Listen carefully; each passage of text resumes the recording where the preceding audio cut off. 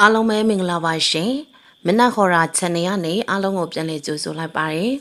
ပရိသတ်များအတွက်ကျမတို့ channel ကနေဒီကနေ့မှတင်ဆက်ပေးသွားမှာကတော့စာရေးဆရာမြုခိုးအလင်ကရဲ့လွတ်မြောက်ကျန်းဆိုတဲ့ဝတ္ထုရိုဇလံပဲဖြစ်ပါရှင်ကျွန်ုပ်မို့ဆိုဖိုးတရားတော့ဒေကံမရောက်တက်မပြောက် ကျွန်ုပ်နေထိုင်တဲ့ရခိုင်ရိုးမှတောအတွင်းညောင်ကိုင်းကျေးရွာကိုပြန်လည်ပြီးတော့ရောက်လာခဲ့ပါတယ်ကျွန်ုပ်ကိုအားလုံးကတော့သေဆုံးသွားခဲ့ပြီလို့ထင်မှတ်ခဲ့ကြပြီးတော့မှအခုပြန်လဲပြီးတော့ပေါ်လာရဲဆိုတော့အံ့ဩသွားကြမယ်ထင်တယ်မိတ်ဆွေရနီးတူကျွန်ုပ်ရဲ့ဇနီးတပည့်ဆွေမျိုးသားချင်းတွေရွာသားတွေက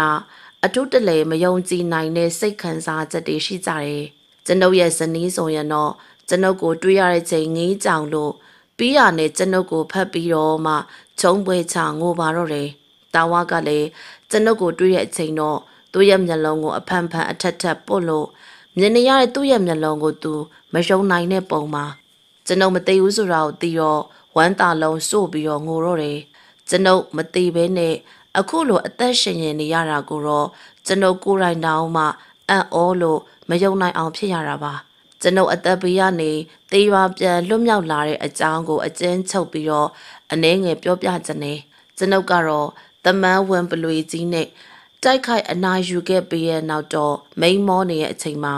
ပောက်ကွဲတံကိုကြားတယ်။ကျွန်ုပ်ကပြိုင်ပွဲကျင်းပတဲ့နေရာမှာပောက်ကွဲတံနေနဲ့အတူတေးရတော့မယ်လို့တွေးပြီးတော့စိတ်ကိုရှော့ပြလိုက်တာပါ။ကျွန်ုပ်ဖောက်ခွဲခိုင်းထားတဲ့ဒိုင်းနမိုက်နဲ့ပောက်ကွဲတံနေအတူအဆောင်ကြီးတစ်ခုလုံး တဝုံဝုံပြိုကျတဲ့အတန်တွေလည်းကြားတယ်။ကျွန်ုပ်ရဲ့လူတွေဘေးကင်းကြပါစေလို့စွတောင်းရက်နဲ့မျက်လုံးကိုစုံမိတ်လိုက်တော့တာကျွန်ုပ်တတိမလက်ခင်အချိန်တော့ချိုဤမွေးပြက်နေတဲ့ရနံတစ်ခုကိုရှူရှိုက်လိုက်မိပြီးကျွန်ုပ်စိတ်ထဲကတော့အမောင်ကပါအတွင်းစင်းသက်လို့သွားပါတော့တယ်ကျွန်ုပ်ပြန်တတိရတော့ငါသေးပြီလားဆိုတဲ့အတွေးတွေမေးခွန်းတွေအရင်ဦးဆုံးမေးမိတွေးမိတယ်ဒီနေရာမှာတော့ကျွန်ုပ်အံ့ဩပွေရာ အသက်ရှင်ပြီးတော့လွတ်မြောက်လာခဲ့တာပါကျွန်ုပ်အသက်ကိုကဲတင်တာကတော့ဒီပရာလို့ခေါ်တဲ့လှပချောမောတဲ့မိန်းကလေးတယောက်နဲ့သူ့ရဲ့လူတွေကဲတင်ထားခဲ့တယ်ကျွန်ုပ်ရဲ့တန်ရာရိုစေးကုသပေးပြီးတော့အချိန်အတန်ကြာဒီပရာလူစုနဲ့နေထိုင်ခဲ့တယ်ကျွန်ုပ်ကဒီပရာလူစုအကြောင်းတွေကိုသူတို့ပြောပြချက်အရာလည်းသိခွင့်ရခဲ့ပါတယ်ဒီပရာလူမျိုးစုကလျှို့ဝတ်သမန်းဝင်းပလွေမျိုးနွယ်စုတွေဖြစ်ပြီးတော့လာပြေလာကွယ်ရက်တေးဆိုရင် လူကနေဝင်းပလွေအဖြစ်ပြောင်းလဲကြတယ်လို့လည်းသိရတယ်ဒီပရာမှာတော့ညီမတယောက်ရှိပြီးတော့စွန်ပရာလို့ခေါ်တယ်ဒီပရာစွန်ပရာညီမနှစ်ယောက်ကတမန်ဝင်းပလွေမျိုးနွယ်စုခေါင်းဆောင်တယောက်ဖြစ်ပြီးဖခင်ဖြစ်သူတည်ဆုံးတဲ့အခါမှာဒီပရာကိုမျိုးနွယ်စုခေါင်းဆောင်အဖြစ်နဲ့တာဝန်ပေးအပ်ခဲ့တယ်။ဒီပရာရဲ့ဖခင်ကြီးကသူတို့လူမျိုးစုဟာကျိန်စာတဲ့မျိုးနွယ်စုဖြစ်တာကြောင့်လူတွေနဲ့ဝေးဝေးနေဖို့ လူတွေကိုဒုက္ခမပေးမိစေဖို့အထူးတလဲမှာတာပါဒီပရာကတော့ဖခင်ကြီးရဲ့စကားအတိုင်းလူတွေနဲ့ဝေးရအရက်မှာနေပြီးတော့လူတွေကိုဒုက္ခမပေးဖို့အထူးမှားကြားပြီးတော့နေထိုင်ခဲ့တယ်။စွန်ဘရာကတော့အဲ့လိုမဟုတ်ဘူး။ရက်ဆက်ကြမ်းကြုတ်တဲ့စိတ်ထားရှိပြီးတော့တီးခံတဲ့စိတ်လည်းနှဲပါတဲ့သူအမားမှန်ကိုချင်းချင်းသုံးသက်နိုင်စွမ်းလည်းနှဲတယ်။ညီမနှစ်ယောက်ကတော့မတူညီရဲ့စိတ်ထားတွေရှိရဲဆိုတော့ပြဿနာ တက်ကြရဲဆိုရင်ဒီပရာကသူမနဲ့စိတ်ထားတူရက်သူတွေကိုစီယုံခေါ်ဆောင်ပြီးတော့တီးတန့်အဖွဲ့အစည်းတစ်ခုတီထောင်နေ။ရဲတိုက်အဟောင်းတစ်ခုပြုတ်ပြင်ပြီးတော့စွန်ပရာတို့အဖွဲ့နေထိုင်ကြတာပါမန်တီပြဿနာမှာစွန်ပရာကမန်တီအပေါ်မှာအညှိုးထားပြီးတော့ဒုက္ခပေးရသူဖြစ်လို့ဒီပရာကတော့ကဲတင်နေသူကျွန်ုပ်တို့တိုက်ခတ်ရတဲ့မြေအောက်အခန်းထဲမှာတော့လျှို့ဝှက်ဥမေလမ်းကြောင်းရှိပြီးတော့ဒီပရာတို့လူစုဟာ ကျွန်ုပ်တို့ကိုအကူအညီပေးဖို့လျှို့ဝှက်ဥမေလမ်းကြောင်းအတိုင်းလိုက်လာခဲ့ကြရာကရဲတိုက်ကြီးပောက်ကွဲတဲ့အချိန်နဲ့ကြုံကြိုက်လို့ဒဏ်ရာတွေနဲ့မိမျောနေတဲ့ကျွန်ုပ်ကိုကဲပြီးတော့အဲ့ဒီနေရာကအမြန်ပြန်ပြီးတော့စုတ်ကြကြမှာစွန်ပရာနဲ့သူ့ရဲ့လူတွေကရဲတိုက်ကြီးပြိုကျတဲ့နေရာမှာပါသွားပြီးတော့အချို့တဝက်ပဲအသက်ရှင်လွတ်မြောက်တယ်။အဲ့ဒီလိုလွတ်မြောက်တဲ့သူတွေကသူတို့ရဲ့အပြစ်ကိုဝင်ချတောင်းပန်ပြီးတော့ ဒီပရာတို့အဖွဲ့ကိုပြန်ပြီးတော့ရောက်တယ်။ကျွန်ုပ်ရဲ့လူတွေကဘေးမတည်ရမခပဲနဲ့လွတ်မြောက်သွားကြောင်းသိရတာကြောင့်ကျွန်ုပ်ကတော့ဝမ်းမြောက်ပါတယ်။စွန်ပရာသိဆုံးခြင်းအတွက်အမဖြစ်သူဒီပရာကိုဝမ်းမြောက်ကြောင်းပြောပြီးတော့မှတောင်းပန်နေဒီပရာကတော့သဘောထားကြီးစွာနဲ့ခွင့်လွှတ်ရှာတယ်ကျွန်ုပ်နဲ့ဒီပရာကအလွန်ရင်းနှီးလို့ကျွန်ုပ်မှာဇနီးမယားသာမရှိရင်တော့ဒီပရာကိုကျွန်ုပ်ချစ်မိမှာအသေးချပဲ ကျွန်ုပ်နဲ့ဒီပရာချစ်သူတွေအဖြစ်ယောက်ျားမင်းဆိုတာမြေကြီးလက်ခံမလွဲပါဒါပေမဲ့ကျွန်ုပ်ကတော့လွတ်လပ်တဲ့သူလည်းမဟုတ်ဇနီးမယားရှိတဲ့သူဆိုတော့ကျွန်ုပ်နဲ့ဒီပရာရဲ့ကြားထဲမှာစီးတစ်ခုချထားခဲ့ပါပြီကျွန်ုပ်ကတော့အဲ့ဒီစီမဖောက်ပြနိုင်ဘူးကျွန်ုပ်ရဲ့အချစ်ကိုမျောလင့်နေတဲ့ဒီပရာအပေါ်မှာကျွန်ုပ်ကမိန်းမရှိကြောင်းမတက်တာဝင်နဲ့ဖွင့်ပြောရတယ်ဒီပရာရဲ့မျောလင့်ချက်မဲ့တဲ့မျက်ရည်တွေစို့နေတဲ့မျက်လုံးတွေက သူ့ရဲ့တသက်မှာဘယ်တော့မှမေ့နိုင်မှာမဟုတ်တဲ့မြင်ကွင်းကျွန်ုပ်တန်ရပျောက်စာအချိန်မှာတော့ပြန်ဖို့အောင်းမွေးနေတဲ့အချိန်နင်းလူတယောက်ရဲ့ဘေးရန်ကိုတော့နှစ်ယောက်အတူတူရင်ဆိုင်ခဲ့ကြသေးတယ်။တယောက်အသက်ကိုတယောက်အကာအကွယ်ပြုရင်ကမတော်တဆဖတ်မိတာတွေလည်းရှိတယ်။ဒီလိုချိန်မျိုးမှာကျွန်ုပ်တတိလက်လွတ်နဲ့ဒီဘရောက်ဖတ်ထားမိခဲ့တာပါ။ဒီဘရကလည်းကျွန်ုပ်ရင်ခွင်ထဲကနေမယုံဖယ်ပဲနဲ့မျက်လုံးတွေမေးစင်းလို့ ကျွန်ုပ်ပြန်မဲနေမှာတော့စီးနဲ့နေထူပိန်းစွာနဲ့ကြတယ်။ဒီဘရာကကျွန်ုပ်ရဲ့လက်ကို တွဲပြီးတော့တိတ်ဆိတ်စွာနဲ့လိုက်တယ်စကားတစ်လုံးမှလည်းမစိုးမျက်ဝန်းမှလည်းမျက်ရည်တွေကပြည့်နှက်ရွှေဝေလို့ကျွန်ုပ်ကပြန်ဖို့ပြန်စင်နေရဆိုပေမဲ့ယူမိုက်တဲ့စိတ်ကူးတစ်ခုကောင်းနေပေါ်တယ်ကျွန်ုပ်သေသွားပြီလို့အားလုံးကထင်နေကြရမှလားဒီလိုချိန်လေးမျိုးမှာကျွန်ုပ်ကသေတဲ့သူအဖြစ်နဲ့ ဒီပရာနဲ့တသက်လုံးဝမ်ဘလီတောင်ကြားအတွင်းမှာနေထိုင်သွားမယ်လို့စိတ်ကူးခဏခဏပေါ်တယ်ဝမ်ဘလီတောင်ကြားအဝကိုရောက်တာနဲ့ဒီပရာရက်တန့်ပြီးတော့ကျန်နေခဲ့တယ်ကျွန်ုပ်ကတော့နောက်လည်းမကြည့်မိအောင်အာတင်ထားပေမဲ့ပြန်ပြီးလဲကြည့်လိုက်တော့ဒီပရာကိုတော့စီးနေနေကြထဲမှာတွေ့ရပြန်နေဒီပရာငိုနေတာများလားဒီပရာငိုနေမယ်လို့ကျွန်ုပ်ထင်တယ်ကျွန်ုပ်ရင်ထဲမှာလည်းနာကျင်စွာနဲ့ခံစားနေရတယ် ဒီပရာကိုနှုတ်ဆက်ခွဲခွာတဲ့အချိန်ဒီပရာပြောလိုက်တဲ့စကားကတော့ကျွန်ုပ်ရဲ့တသက်ဘယ်တော့မှမေ့နိုင်မှာမဟုတ်တဲ့စကားဒီစကားကကျွန်ုပ်ရဲ့နှလုံးသားထဲမှာကပီးကြောက်စာအဖြစ်နဲ့နှလုံးသွေးနဲ့ရေးထွန်းထားတာပါအကူဖို့တေအကူသားလာမယ်ဆိုရင်10နှစ်လားအနှစ်တရာလားကျမစောင့်ပါမယ်တကယ်လို့ကျမတည်သွားတဲ့ဆိုရင်ဝိညာဉ်ဘဝနဲ့ထပ်ပြီးတော့မှစောင့်နေပါမယ်အကူကျွန်ုပ်ကအပန်းနှဝင်ခံရရင် ဒီပရပေါ်မှာစိတ်တိမ်ညွတ်မိတယ်လူတယောက်မှတသက်မှတစ်ကြိမ်သာချစ်လို့နောက်ထပ်တစ်ကြိမ်နောက်ထပ်တယောက်ပေါ်ချစ်မိတဲ့အတွက်ဇနီးမယားပေါ်မှာသစ္စာဖောက်တယ်လို့ဖြစ်ပါကကျွန်ုပ်ဇနီးမယားပေါ်မှာသစ္စာဖောက်မိပါပြီကျွန်ုပ်ကတော့စောနွဲ့စေးထန်တို့ရွာကိုရောက်တော့ကျွန်ုပ်မသိမှန်းသိလို့အရန်ကိုဝမ်းမြောက်ဝမ်းသာဖြစ်ကြတယ်ကျွန်ုပ်ကတော့ကျွန်ုပ်ရဲ့ အသက်ဘေးကနေပြီးတော့လွတ်မြောက်လာတဲ့အကြောင်းအရာတွေကိုတော့အကြမ်းပြန်ပြောပြလို့နောက်ထပ်တစ်နေ့မှပဲအိမ်ပြန်ပြီးတော့တပတ်လောက်အကြာအိမ်ကိုရောက်ခဲ့တာပါကျွန်ုပ်ကတော့ရွာကိုရောက်လာပြီးတော့တလလောက်နားနေပြီးရဲ့နောက်ပုံမှန်လှုပ်ရိုးလှုပ်စင်အမဲလိုက်ခြင်းအလုပ်ကိုပြန်လုပ်တယ်။ဒီနေ့မှာတော့ကျွန်ုပ်ကရာသီတုတ်ကွေးမိပြီးတော့ဖျားပါတယ်။ဒီလိုအချိန်မှာတော့ကျွန်ုပ်ရဲ့ဇနီးဧကရီယာကျွန်ုပ်ရဲ့ဘေးနားမှာ သူ့အဖျားကူးမကိုထဲ့မတွက်တော့ဘဲနဲ့ပြုစုပေးရှာတာကျွန်ုပ်ကတော့၃လေးရက်ကိုရီပူလာပြီးတော့လူမန်းသူမန်းမသိဖျားနာနေပြန်နေအခုတော့ကျွန်ုပ်ရဲ့ဇနီးဖြစ်သူတတိထားပြီးတော့သူရဲ့မျက်နှာကဝမ်းနည်းမှုတွေအမျိုးသိမ့်ထားတယ်ဆိုတာကို တွေ့ရတော့ကျွန်ုပ်စိတ်ထဲမှာအင်မတန်မှပူပန်မိရအမှန်ပဲဧကရီညီမမျက်နှာလည်းမကောင်းပါလားယဘာဖြစ်တာလဲ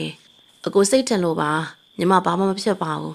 အကိုနဲ့ညီမကြားထဲမှာ ဘယ်ကိစ္စမဆိုပွန့်ပွန့်လင်းလင်းပြောကြမယ်လို့ဂတိပေးထားကြတယ်လေအဲ့ဒီဂတိကိုညီမမေ့သွားပြီလားအဲ့ဒီဂတိကိုမေ့တာအကိုပါ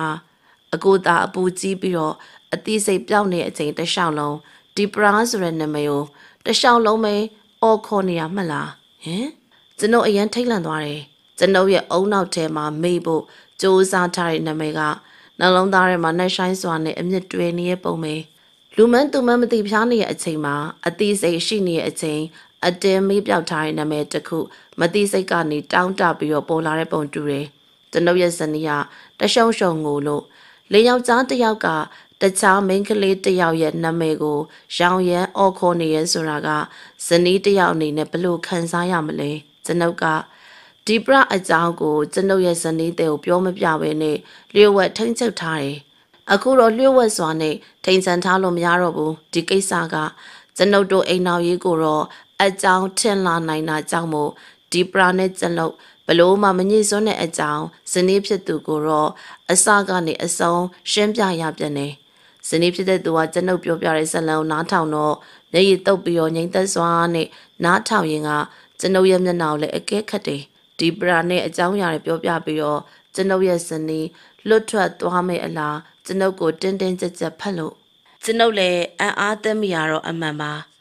ကျွန်ုပ်နဲ့ဒီပရာအကြောင်းတွေကိုပြောပြပြီးပြီဆိုရင်တော့ကျွန်ုပ်ရဲ့အပေါ်မှာဒေါသဖြစ်မယ်လို့မျှော်လင့်ထားတာဒါပေမဲ့ကျွန်ုပ်မျှော်လင့်ထားတဲ့တုံ့ပြန်မှုမျိုးနဲ့တုံ့ပြန်လာတယ်ဆိုတော့အံ့ဩမိရအမှန်ပါ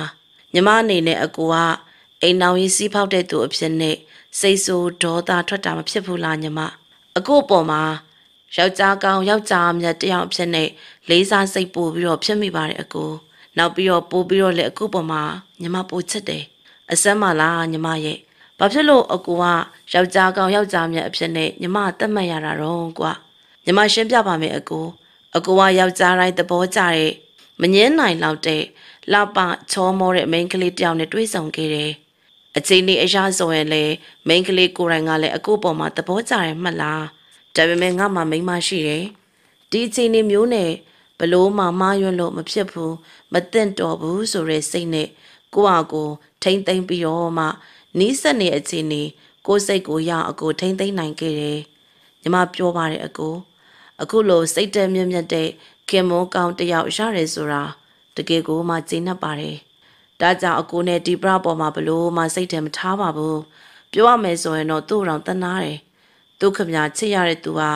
အိမ်အောင်ရှင်ဖြစ်နေရဘလောက်များ ခံစားနေရမလဲနော်။အော်စိတ်တပေါ်တာမွန်မြတ်လိုက်တာ။ဇနုပ်ကတော့ဇနီးဖြစ်သူဖွားဖွားလေးပြန်ဖတ်ပြီးတော့မှတီတိုရေရွတ်လိုက်တယ်။ဇနုပ်ဇနီးဖြစ်တဲ့သူကဒီပရာကြောင့်ကြားရပြီးနောက်ပိုင်းမှာတော့အိမ်အောင်ရှင်မတွေဖြစ်တယ်လို့နေထိုင်ရာကနေအလှတွေပြန်ပြီးတော့မှလလပပဝစ်စားစီရင်လာတော့ကျွန်ုပ်ကြိတ်ပြီးတော့ပြုံးမိတယ်။ဧကရိယာချောမောလှပါတဲ့အပြင်ကျွန်ုပ်ပေါ်မှာတော့အသက်ပေးချစ်ဝတ်နဲ့ ချစ်သူတယောက်ပါကျွန်ုပ်နေနဲ့ဧကရိကိုဘလို့အကြောင်းကြောင်းနဲ့မှခွဲသွားမှာမဟုတ်ပါဘူးလွန်ခဲ့တဲ့၄နှစ်ကျော်ကတည်းကကိုယ့်ဟာကိုယ်လည်းကျိန်ဆူထားပြီးသားကျွန်ုပ်ကတော့အမဲပြစ်ချက်အလုပ်ကိုဆက်လက်ပြီးတော့လောက်ကင်နေတဲ့နေရာကတပည့်ကျော်တာဝကတော့လုံလုံလျားလျားကျွန်ုပ်တပည့်အဖြစ်ခံယူပြီးတော့ကျွန်ုပ်သွားလျာတော်အနက်တောင်အနက်လိုက်ပါတော့မယ်တခြားနေရာတွေကိုသွားလာရမယ်ခီးစဉ်ကပေါ်မလာဘူးဆိုတော့ ကျွန်ုပ်ကအေးအေးဆေးဆေးရိုးမအတွင်အမဲလိုက်ပြီးတော့နေတယ်။ဒီနေ့မှာတော့ကျွန်ုပ်ရှိရဲ့နေရာညောင်ကိုင်းကြီးရွာလေးကိုတော့ဧည့်သည်တွေကျွန်ုပ်အိမ်ကိုမေးစမ်းပြီးတော့မှရောက်လာတယ်။ရောက်လာကြတဲ့သူတွေကဝစ်စားထားတဲ့အဝတ်အစားအသုံးအဆောင်ရုပ်ရည်သွင်းပြနေကိုကြီးလိုက်တာနဲ့ကြည်ရတတ်တယ်လို့ခန့်မှန်းနိုင်တာအသက်40လောက်အရွယ်ရုပ်ရည်တန်တန်လူတစ်ယောက်အသက်20လောက်လူငယ်တစ်ယောက်နဲ့ကောင်မလေးတစ်ယောက် ကျွန်ုပ်တို့အိမ်ရှိရာကိုဦးဆောင်ပြီးတော့လမ်းပြခေါ်လာတဲ့သူနဲ့အတူရောက်လာတာပါ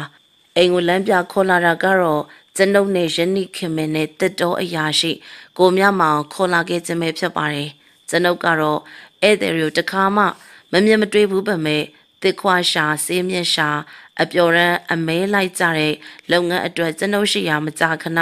လူတွေရောက်လာတတ်တယ်ဆိုတော့ဒီလူတွေကလည်းဒီလိုအကြောင်းအရာတွေထဲက တခုခုပြုလုပ်ဖို့ရောက်လာတယ်လို့တွေးလိုက်တယ်ကျွန်ုပ်ရဲ့ဇနီးက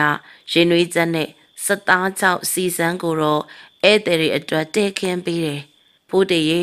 ဒါတော့ငါရဲ့အတီကိုဆက်နိုင်နဲ့ဒါတော့သူ့ရဲ့သမီးဆန်နေဒါတော့မင်းခန့်တော်ရဲကွာ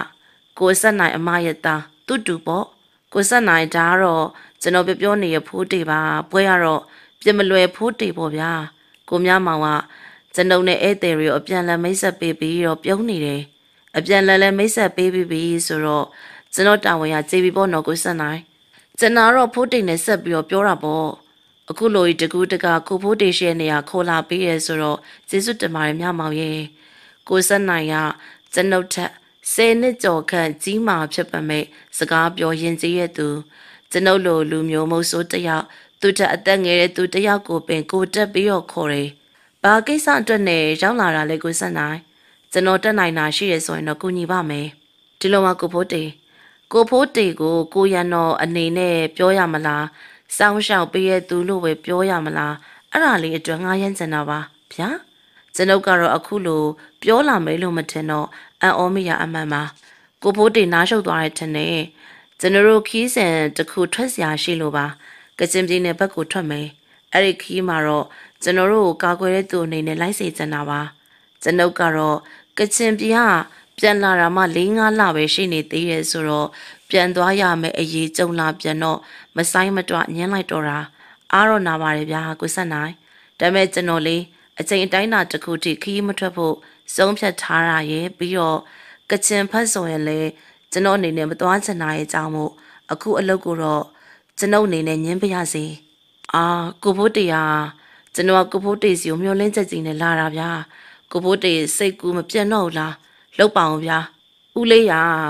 ခက်ခရခေါမနေစမ်းမနဲ့မုတ်ဆိုးတွေများပေါ်လို့ဟဲ့ကောင်မင်းပါဆက်ကိုပိတ်ထားလိုက်စမ်းဒါလူကြီးတွေစကားပြောနေတာမင်းဘာမှဝင်မပြောနဲ့တောင်းမှမာတဲ့ကိုဖို့တေရဲ့လူငယ်ဆိုတော့စိတ်မြန်လက်မြန်ရှိတတ်တာပါကိုခန့်စကားပြောရမရှိုင်းပါနဲ့ဘလောက်အားနာစရာကောင်းလဲကိုခန့်စကားကရပါတယ်ဗျာကျွန်တော်စိတ်မဆိုးပါဘူး ကျွန်ုပ်လိုမို့ဆိုတယောက်ကအခုလိုညင်းနေဆိုတော့ဈေးမြင့်စံလို့ဟန်ဆောင်ညင်းပြနေရမဟုတ်ပါဘူးကျွန်ုပ်ရဲ့အကြောင်းနဲ့ကျွန်ုပ်ညင်းတာပါတကယ်လို့ကျွန်ုပ်မလိုက်နိုင်ဘူးဆိုပေမဲ့လည်းအဲ့ဒီဘက်ကမိုးဆိုးတွေလှမ်းပြီးတော့အကြောင်းကြားပြီးတော့ကိုဆက်နိုင်တို့ကိုညီပေးလို့ရပါတယ်မင်းကန်တော်ဆိုတဲ့ကောင်လေးကကျွန်ုပ်လိုမိုးဆိုးတယောက်ကကြီးကျယ်တယ်လို့စိတ်ထဲမှာထင်လာလားတော့မသိဘူးကျွန်ုပ်ညင်းလိုက်တော့စိတ်ဆိုးတဲ့ပုံနဲ့ပြောတယ် ကိုဆက်နိုင်ဟာသူ့ရဲ့တူကိုငေါငန်းပြီးတော့ကျွန်ုပ်ကိုအားနာတယ်ဆိုတဲ့စကားပြောလာတယ်လို့သမီးဖြစ်သူကလည်းသူ့ရဲ့ဝမ်းကွဲအကူကိုပြစ်တင်စကားဆိုတယ်ကျွန်ုပ်ကတော့လူငယ်ရဲ့တဘာဝစိတ်မြန်လက်မှန်ပြောလာတာအပြတ်မတင်ပါဘူးကိုမြမောင်ရဲ့ကူညီပြီးတော့ပြောပြပါအောင်ဗျာကိုဖို့တင်မလိုက်ဘူးပြောနေတာဖိုးတေရအရင်လည်းမင်းခီးရထွက်နေကြပဲလေကွာအခုကမင်းကဘလို့ဖြစ်တာတော့နောက်ပြီးတော့သူကမင်းခီးသွားတယ်ဆိုရင်ဂျုံလာရသမျှဇက်လန်းတွေကို ငါကပြောပြထားလို့သိပြီးသားသူနဲ့ဆုံကြရလည်းမင်းเจ้าနဲ့မေးနေတာကွာမင်းခီးသွားဇက်လန်းနေငါ့ကိုပြောပြခိုင်းနေသူကမင်းရဲ့အမာကန်ပြိတ္တအစ်စ်ကွာအခုသူပြဿနာကြုံနေတာအဲ့ဒါမင်းကူညီမဖြစ်မှာကွာမင်းစီကိုတန်းပြီးတော့မှပို့ခိုင်းလို့ငါလည်းလာပြီးတော့ပို့ပေးရတာကွာဟုတ်ပါတယ်ကိုဖိုးတရဲ့ကျွန်တော်ကလေကိုဖိုးတရဲ့ဇက်လန်နေကိုကိုအများမောင်စီကနေအမြဲတမ်းနားထောင်နေရပါအားလည်းအားကြတယ်ပြီးတော့လေးလေးလေးစားတယ် အသက်အနေများတဲ့ခရီးတစ်ခုကိုအတူတူသွားကြတယ်ဆိုရင်ကိုဖိုးတေပြောနေကြစကားလို့တယောက်နဲ့တယောက်သစ္စာရှိမှုကအရေးပါတယ်ဗျအခုကျွန်တော်ကိစ္စကလည်းကျွန်တော်ရဲ့သားလေးပျောက်နေလို့ပါကိုဖို့တေးခတ်တော့ခတ်ပြီဗျာကျွန်တော်အားနာပါတယ်ကိုဆက်နိုင်ပြီးတော့တောင်းပန်ပါတယ်မြမောင်ပါဒီကိစ္စကိုတော့ငါညင်းပြရစေကွာကျွန်ုပ်ကတွင်တွင်ညင်းတော့ကိုမြမောင်ကိုစစ်ကူခေါ်ပြီးတော့ပြောခိုင်းနေ ကျွန်ုပ်ကနေဝဲကိုခီးမထွက်ဖို့ဇနီးဖြစ်သူကိုဂတိပေးထားတယ်လို့အခုကချင်ပြည်ခရီးရပို့ပြီးတော့မသွားစင်တဲ့ခရီးတစ်ဖက်လူကတားသမီးအတွက်ပူပန်တော့ကရောက်လို့အကူကြီးတောင်းတာပဲနားထောင်ပေးလိုက်ပါကိုရဲ့ကူညီတဲ့နေဆိုရင်တော့ကူညီလိုက်ပါညီမခွင့်ပြုပါတယ်ကျွန်ုပ်လုံးဝထင်မှတ်မှတ်ထားတဲ့ကျွန်ုပ်ရဲ့ဇနီးဧကရိယာဧည့်သည်တွေပြောတဲ့စကားကိုတစွန်းတစကြားပြီးတော့မှအကူညီပေးဖို့ပြောလာတယ်ဆိုတော့အံ့အားသင့်ရပြန်တယ် ကိုဆက်နိုင်ရကျွန်ုပ်ရဲ့ဇနီးကတိုက်တွန်းပေးရဆိုတော့စိတ်လက်ညှဉ်းညူးနေရကနေစက်ကူရတဲ့မျက်နာရည်ဝင်းလက်သွားတယ်ကျွန်ုပ်ကလည်းဇနီးဖြစ်သူမှပြောလာတယ်ဆိုတော့ခရီးမထွက်တော့ဘူးလို့တွေးထားတဲ့စိတ်ကိုတော့တထစ်လျှော့လိုက်ပါတယ်တကယ်လို့ကိစ္စသာအရေးမပါရင်မလိုက်ဖို့တွေးထားပြီးသားဘလို့ကိစ္စရဲ့ကြောင့်ခမည်းတောင်ရှာချင်တာလေကိုဆက်နိုင်ကျွန်ုပ်ကသူ့ရဲ့သားကြောင့်မေးတော့ကိုဆက်နိုင်ပြပြတလဲနဲ့ပြောတယ် ကိုဖိုးတေငောင်းဆိုတော့ကြားဘူးလားဗျာငောင်းဟုတ်လားကြားဖို့ပါတယ်ငောင်းရှိတယ်ဆိုတော့ဝေါ်ရှုံလားကိုဖိုးတေကျွန်တော်ငောင်းနဲ့တခါမှတော့မကြုံကြိုက်ဘူးတော့မတွေ့ဘူးသေးပါဘူးဒါပေမဲ့ရာဇဝင်သမိုင်းအထောက်အထားတွေအရာဆိုရင်ငောင်းဆိုတာရှိတယ်ပြီးတော့လက်ကယုံကြည်နိုင်စရာအထောက်အထားတွေလည်းရှိရဆိုတော့ယုံပါတယ်ဒါပေမဲ့အခုချိန်မှာကျတော့ရှားပါပြီးတော့ဒန်နိုင်လိုလိုပုံပြင်းလိုလိုအကောင်မျိုးဖြစ်သွားပါပြီ အဲ့ဒီငောင်းကစတဲ့ဇက်လန်လို့ပြောရမယ်ကိုဖို့တရဲ့ကျွန်တော်သားလေးကကချင်ပြည်နယ်ကသူ့ရဲ့တငယ်ချင်းကသူတို့ရွာနာမှာငောင်းတတဝါတကောင်တွေ့ရဲဆိုတဲ့အတန်ကိုကြားတော့ထူးထူးဆန်းဆန်းကိစ္စရက်တွေကိုစိတ်ဝင်စားတဲ့ကျွန်တော်ရဲ့သားကငောင်းနဲ့ပတ်သက်ပြီးတော့စာရန်တစ်ခုပြုစုကျင်တာလေအချိန်နေပေးရဆိုရင်အဲ့ဒီငောင်းကိုဖမ်းမယ်လို့သူစိတ်ကူတာကျွန်တော်သားသွားတဲ့နေရာကတော့ဖုန်းလိုင်းကလည်းတစ်ခါတလေမှမိရဲ့နေရာအစပထမတော့က ဖုန်းလိုင်းမိရဲ့ချိန်ကျွန်ုပ်ကိုဖုန်းဆက်ပြီးတော့သူကျမ်းမာတဲ့အကြောင်းသူ့အတွက်ဘာမှစိတ်ပူနေစရာမလိုတဲ့အကြောင်းပြောတယ်တနေ့ကျတော့ငားငိုသူတွေးလိုက်တယ်တဲ့မနေ့ပန်ကြာရင်ငားကိုဖမ်းဖို့လိုက်သွားမယ်လို့ပြောတယ်ကျွန်တော်ကလည်းအစားအစာအရာတတိထားဖို့ပြောလာတော့တားကစိတ်မပူဖို့ပြောတယ်ဒါပေမဲ့အဲ့ဒီနေ့ကစပြီးရောမှတားစီကနေအဆက်အသွယ်မရတော့တာပါ ကျွန်တော်သားဆက်တဲ့ဖုန်းနံပါတ်ကိုခေါ်တော့လေဆက်သွယ်မှု area ပြင်ပအောင်ရောက်နေရဲဆိုတော့အဖြေကိုပဲရခဲ့ပါတယ်။သားစီကိုချက်ကျန်လိုက်ချင်နေဆိုပေမဲ့ကျွန်တော်ရဲ့အလုပ်ကိစ္စတွေကိုပြစ်ပြီးတော့ဒီအတိုင်းသွားလို့မရတာနဲ့ကြံ့ကြာနေတာအလုပ်ကိစ္စတွေစီစဉ်စရာရှိရတွေလည်းစီစဉ်ပြီးပြန်တော့လေဒီခီးကိုဥဆောင်မဲ့အတွေ့အကြုံရှိတဲ့လူတစ်ယောက်လည်းလိုပြန်ရော နောက်ဆုံးကိုမြမောင်နဲ့တွေ့ပြီးတော့ကိုဖိုးတေကိုတတိယလိုက်တယ် ကျွန်တော်သားလေးငောင်းဖမ်းမယ်ဆိုပြီးတော့ထွက်သွားတဲ့နေ့တည်းကမဆက်သွေတာရက်20လောက်ရှိပါပြီကိုဖိုးတေကျွန်တော်ကူညီပါကျွန်ုပ်ကတော့ဘာမှအပြေမပေးနိုင်မဲနဲ့နှုတ်စိတ်ငြိမ်သက်တိတ်ဆိတ်သွားတယ်လိုက်သွားလိုက်ပါကိုရဲ့ဒီလိုကိစ္စမျိုးကအကိုပါမှအစင်ပြေမဲ့ကိစ္စလေးဒါကြောင့်အကိုလိုက်သွားပါကျွန်ုပ်ကဇနီးဖြစ်သူဧကရိယလိုက်ခွင့်ပြုရဲဆိုတော့ကျွန်ုပ်ကိုယ်တိုင်အဲ့ဒီကိစ္စကိုလည်းစိတ်ဝင်စားတာလည်းပါတာနဲ့လက်ခံလိုက်တယ် ကျွန်ုပ်တို့အိမ်မှာတညအိပ်ပြီးတော့တဲကိုကြပြီးရနောက်တော့နောက်ထပ်တနေ့ရောက်တဲ့အခါမှာကျွန်ုပ်ဇနီးဖြစ်သူကိုတော့မိဘရဲ့အိမ်ကိုလိုက်ပို့လို့နှုတ်ဆက်စကားဆိုပြီးရနဲ့ဇနီးဖြစ်သူကဝမ်းနေတဲ့စိတ်ကိုထိန်းချုပ်ထားရတဲ့ပုံမှာအကိုခီးထွက်တိုင်းမှာမြမရဲ့နေမှာပူပန်စိတ်တွေဘလောက်ထိများရတလဲဆိုတာတော့ပြောပြလို့မတက်အောင်ပဲအကိုအကိုသိပြီဆိုတာသိတော့အယူတစ်ပိုင်းလို့ခံစားရတယ် အကိုရဲ့မျက်နှာကိုတော့နောက်ဆုံးမတွေးလိုက်ရပဲနဲ့သေပြီဆိုတာသိရတဲ့အချိန်ဘလောက်ထိစိတ်ဆင်းရဲကိုယ်ဆင်းရဲခံစားနေရတယ်လဲဆိုတာအကိုမသိပါဘူးအကိုဝမ်းနဲ့ပူဆွေးမှုတွေကိုရှင်မပိုက်ပြီးတော့မျက်ရည်ကိုအဖော်ပြုတ်ပြီးတော့နေနေညာညာဖြတ်တန်းနေရတာပါအကိုမသိဘဲနဲ့ပြန်လာပြီဆိုတာသိရတော့အိမ်မက်တစ်ခုလိုပဲပျော်လိုက်တာပြောမနေနဲ့ဘေးအန္တရာယ်များတဲ့အလုပ်တွေအကိုမလုပ်စေချင်ဘူး ဒါပေမဲ့အကူကဒီလိုစွန်းစွန်းစားစားအလုပ်ကိုမှသဘောကျတဲ့သူလေညီမမတားပါဘူးဒါပေမဲ့အခုတစ်ခေါက်တော့ဂတိပေးပါအကိုအကိုပြန်လာမယ်ဆိုရဲဂတိကိုပေးပါ စိတ်ချပါညီမရဲ့အကိုဘေးမသေးရမခညီမရေပြန်ရောက်လာမယ်လို့ဂတိပေးပါရဟုတ်ပြီလားကျွန်ုပ်ရဲ့ဇနီးကဟိုးရခင်ခရီးတွေထွက်တဲ့အချိန်တော့ကျွန်ုပ်အဲ့ဒီလိုမပြောဘူးဘူး ကျွန်ုပ်တေရွာကနေပြန်လာပြီးတော့အဲ့ဒီစကားမျိုးပြောတာကကျွန်ုပ်ကိုအဆုံးရှုံးမခံနိုင်တဲ့စိတ်နဲ့ပြောရဲဆိုတာလေကျွန်ုပ်သိတယ်။တာဝါကတော့အထုပ်ကြီးပိုက်ပြီးတော့ပြေးလာပါပြီ။သူ့ကိုခီးထွက်ဖို့ကျွန်ုပ်ခေါ်ထားတာပါ။ကျွန်ုပ်ရဲ့ဇနီးဧကရိယာတာဝါကိုခေါ်ပြီးတော့ တီတိုတီတိုပြောနေရလဲတွေ့တယ်။ကျွန်ုပ်တို့တွေက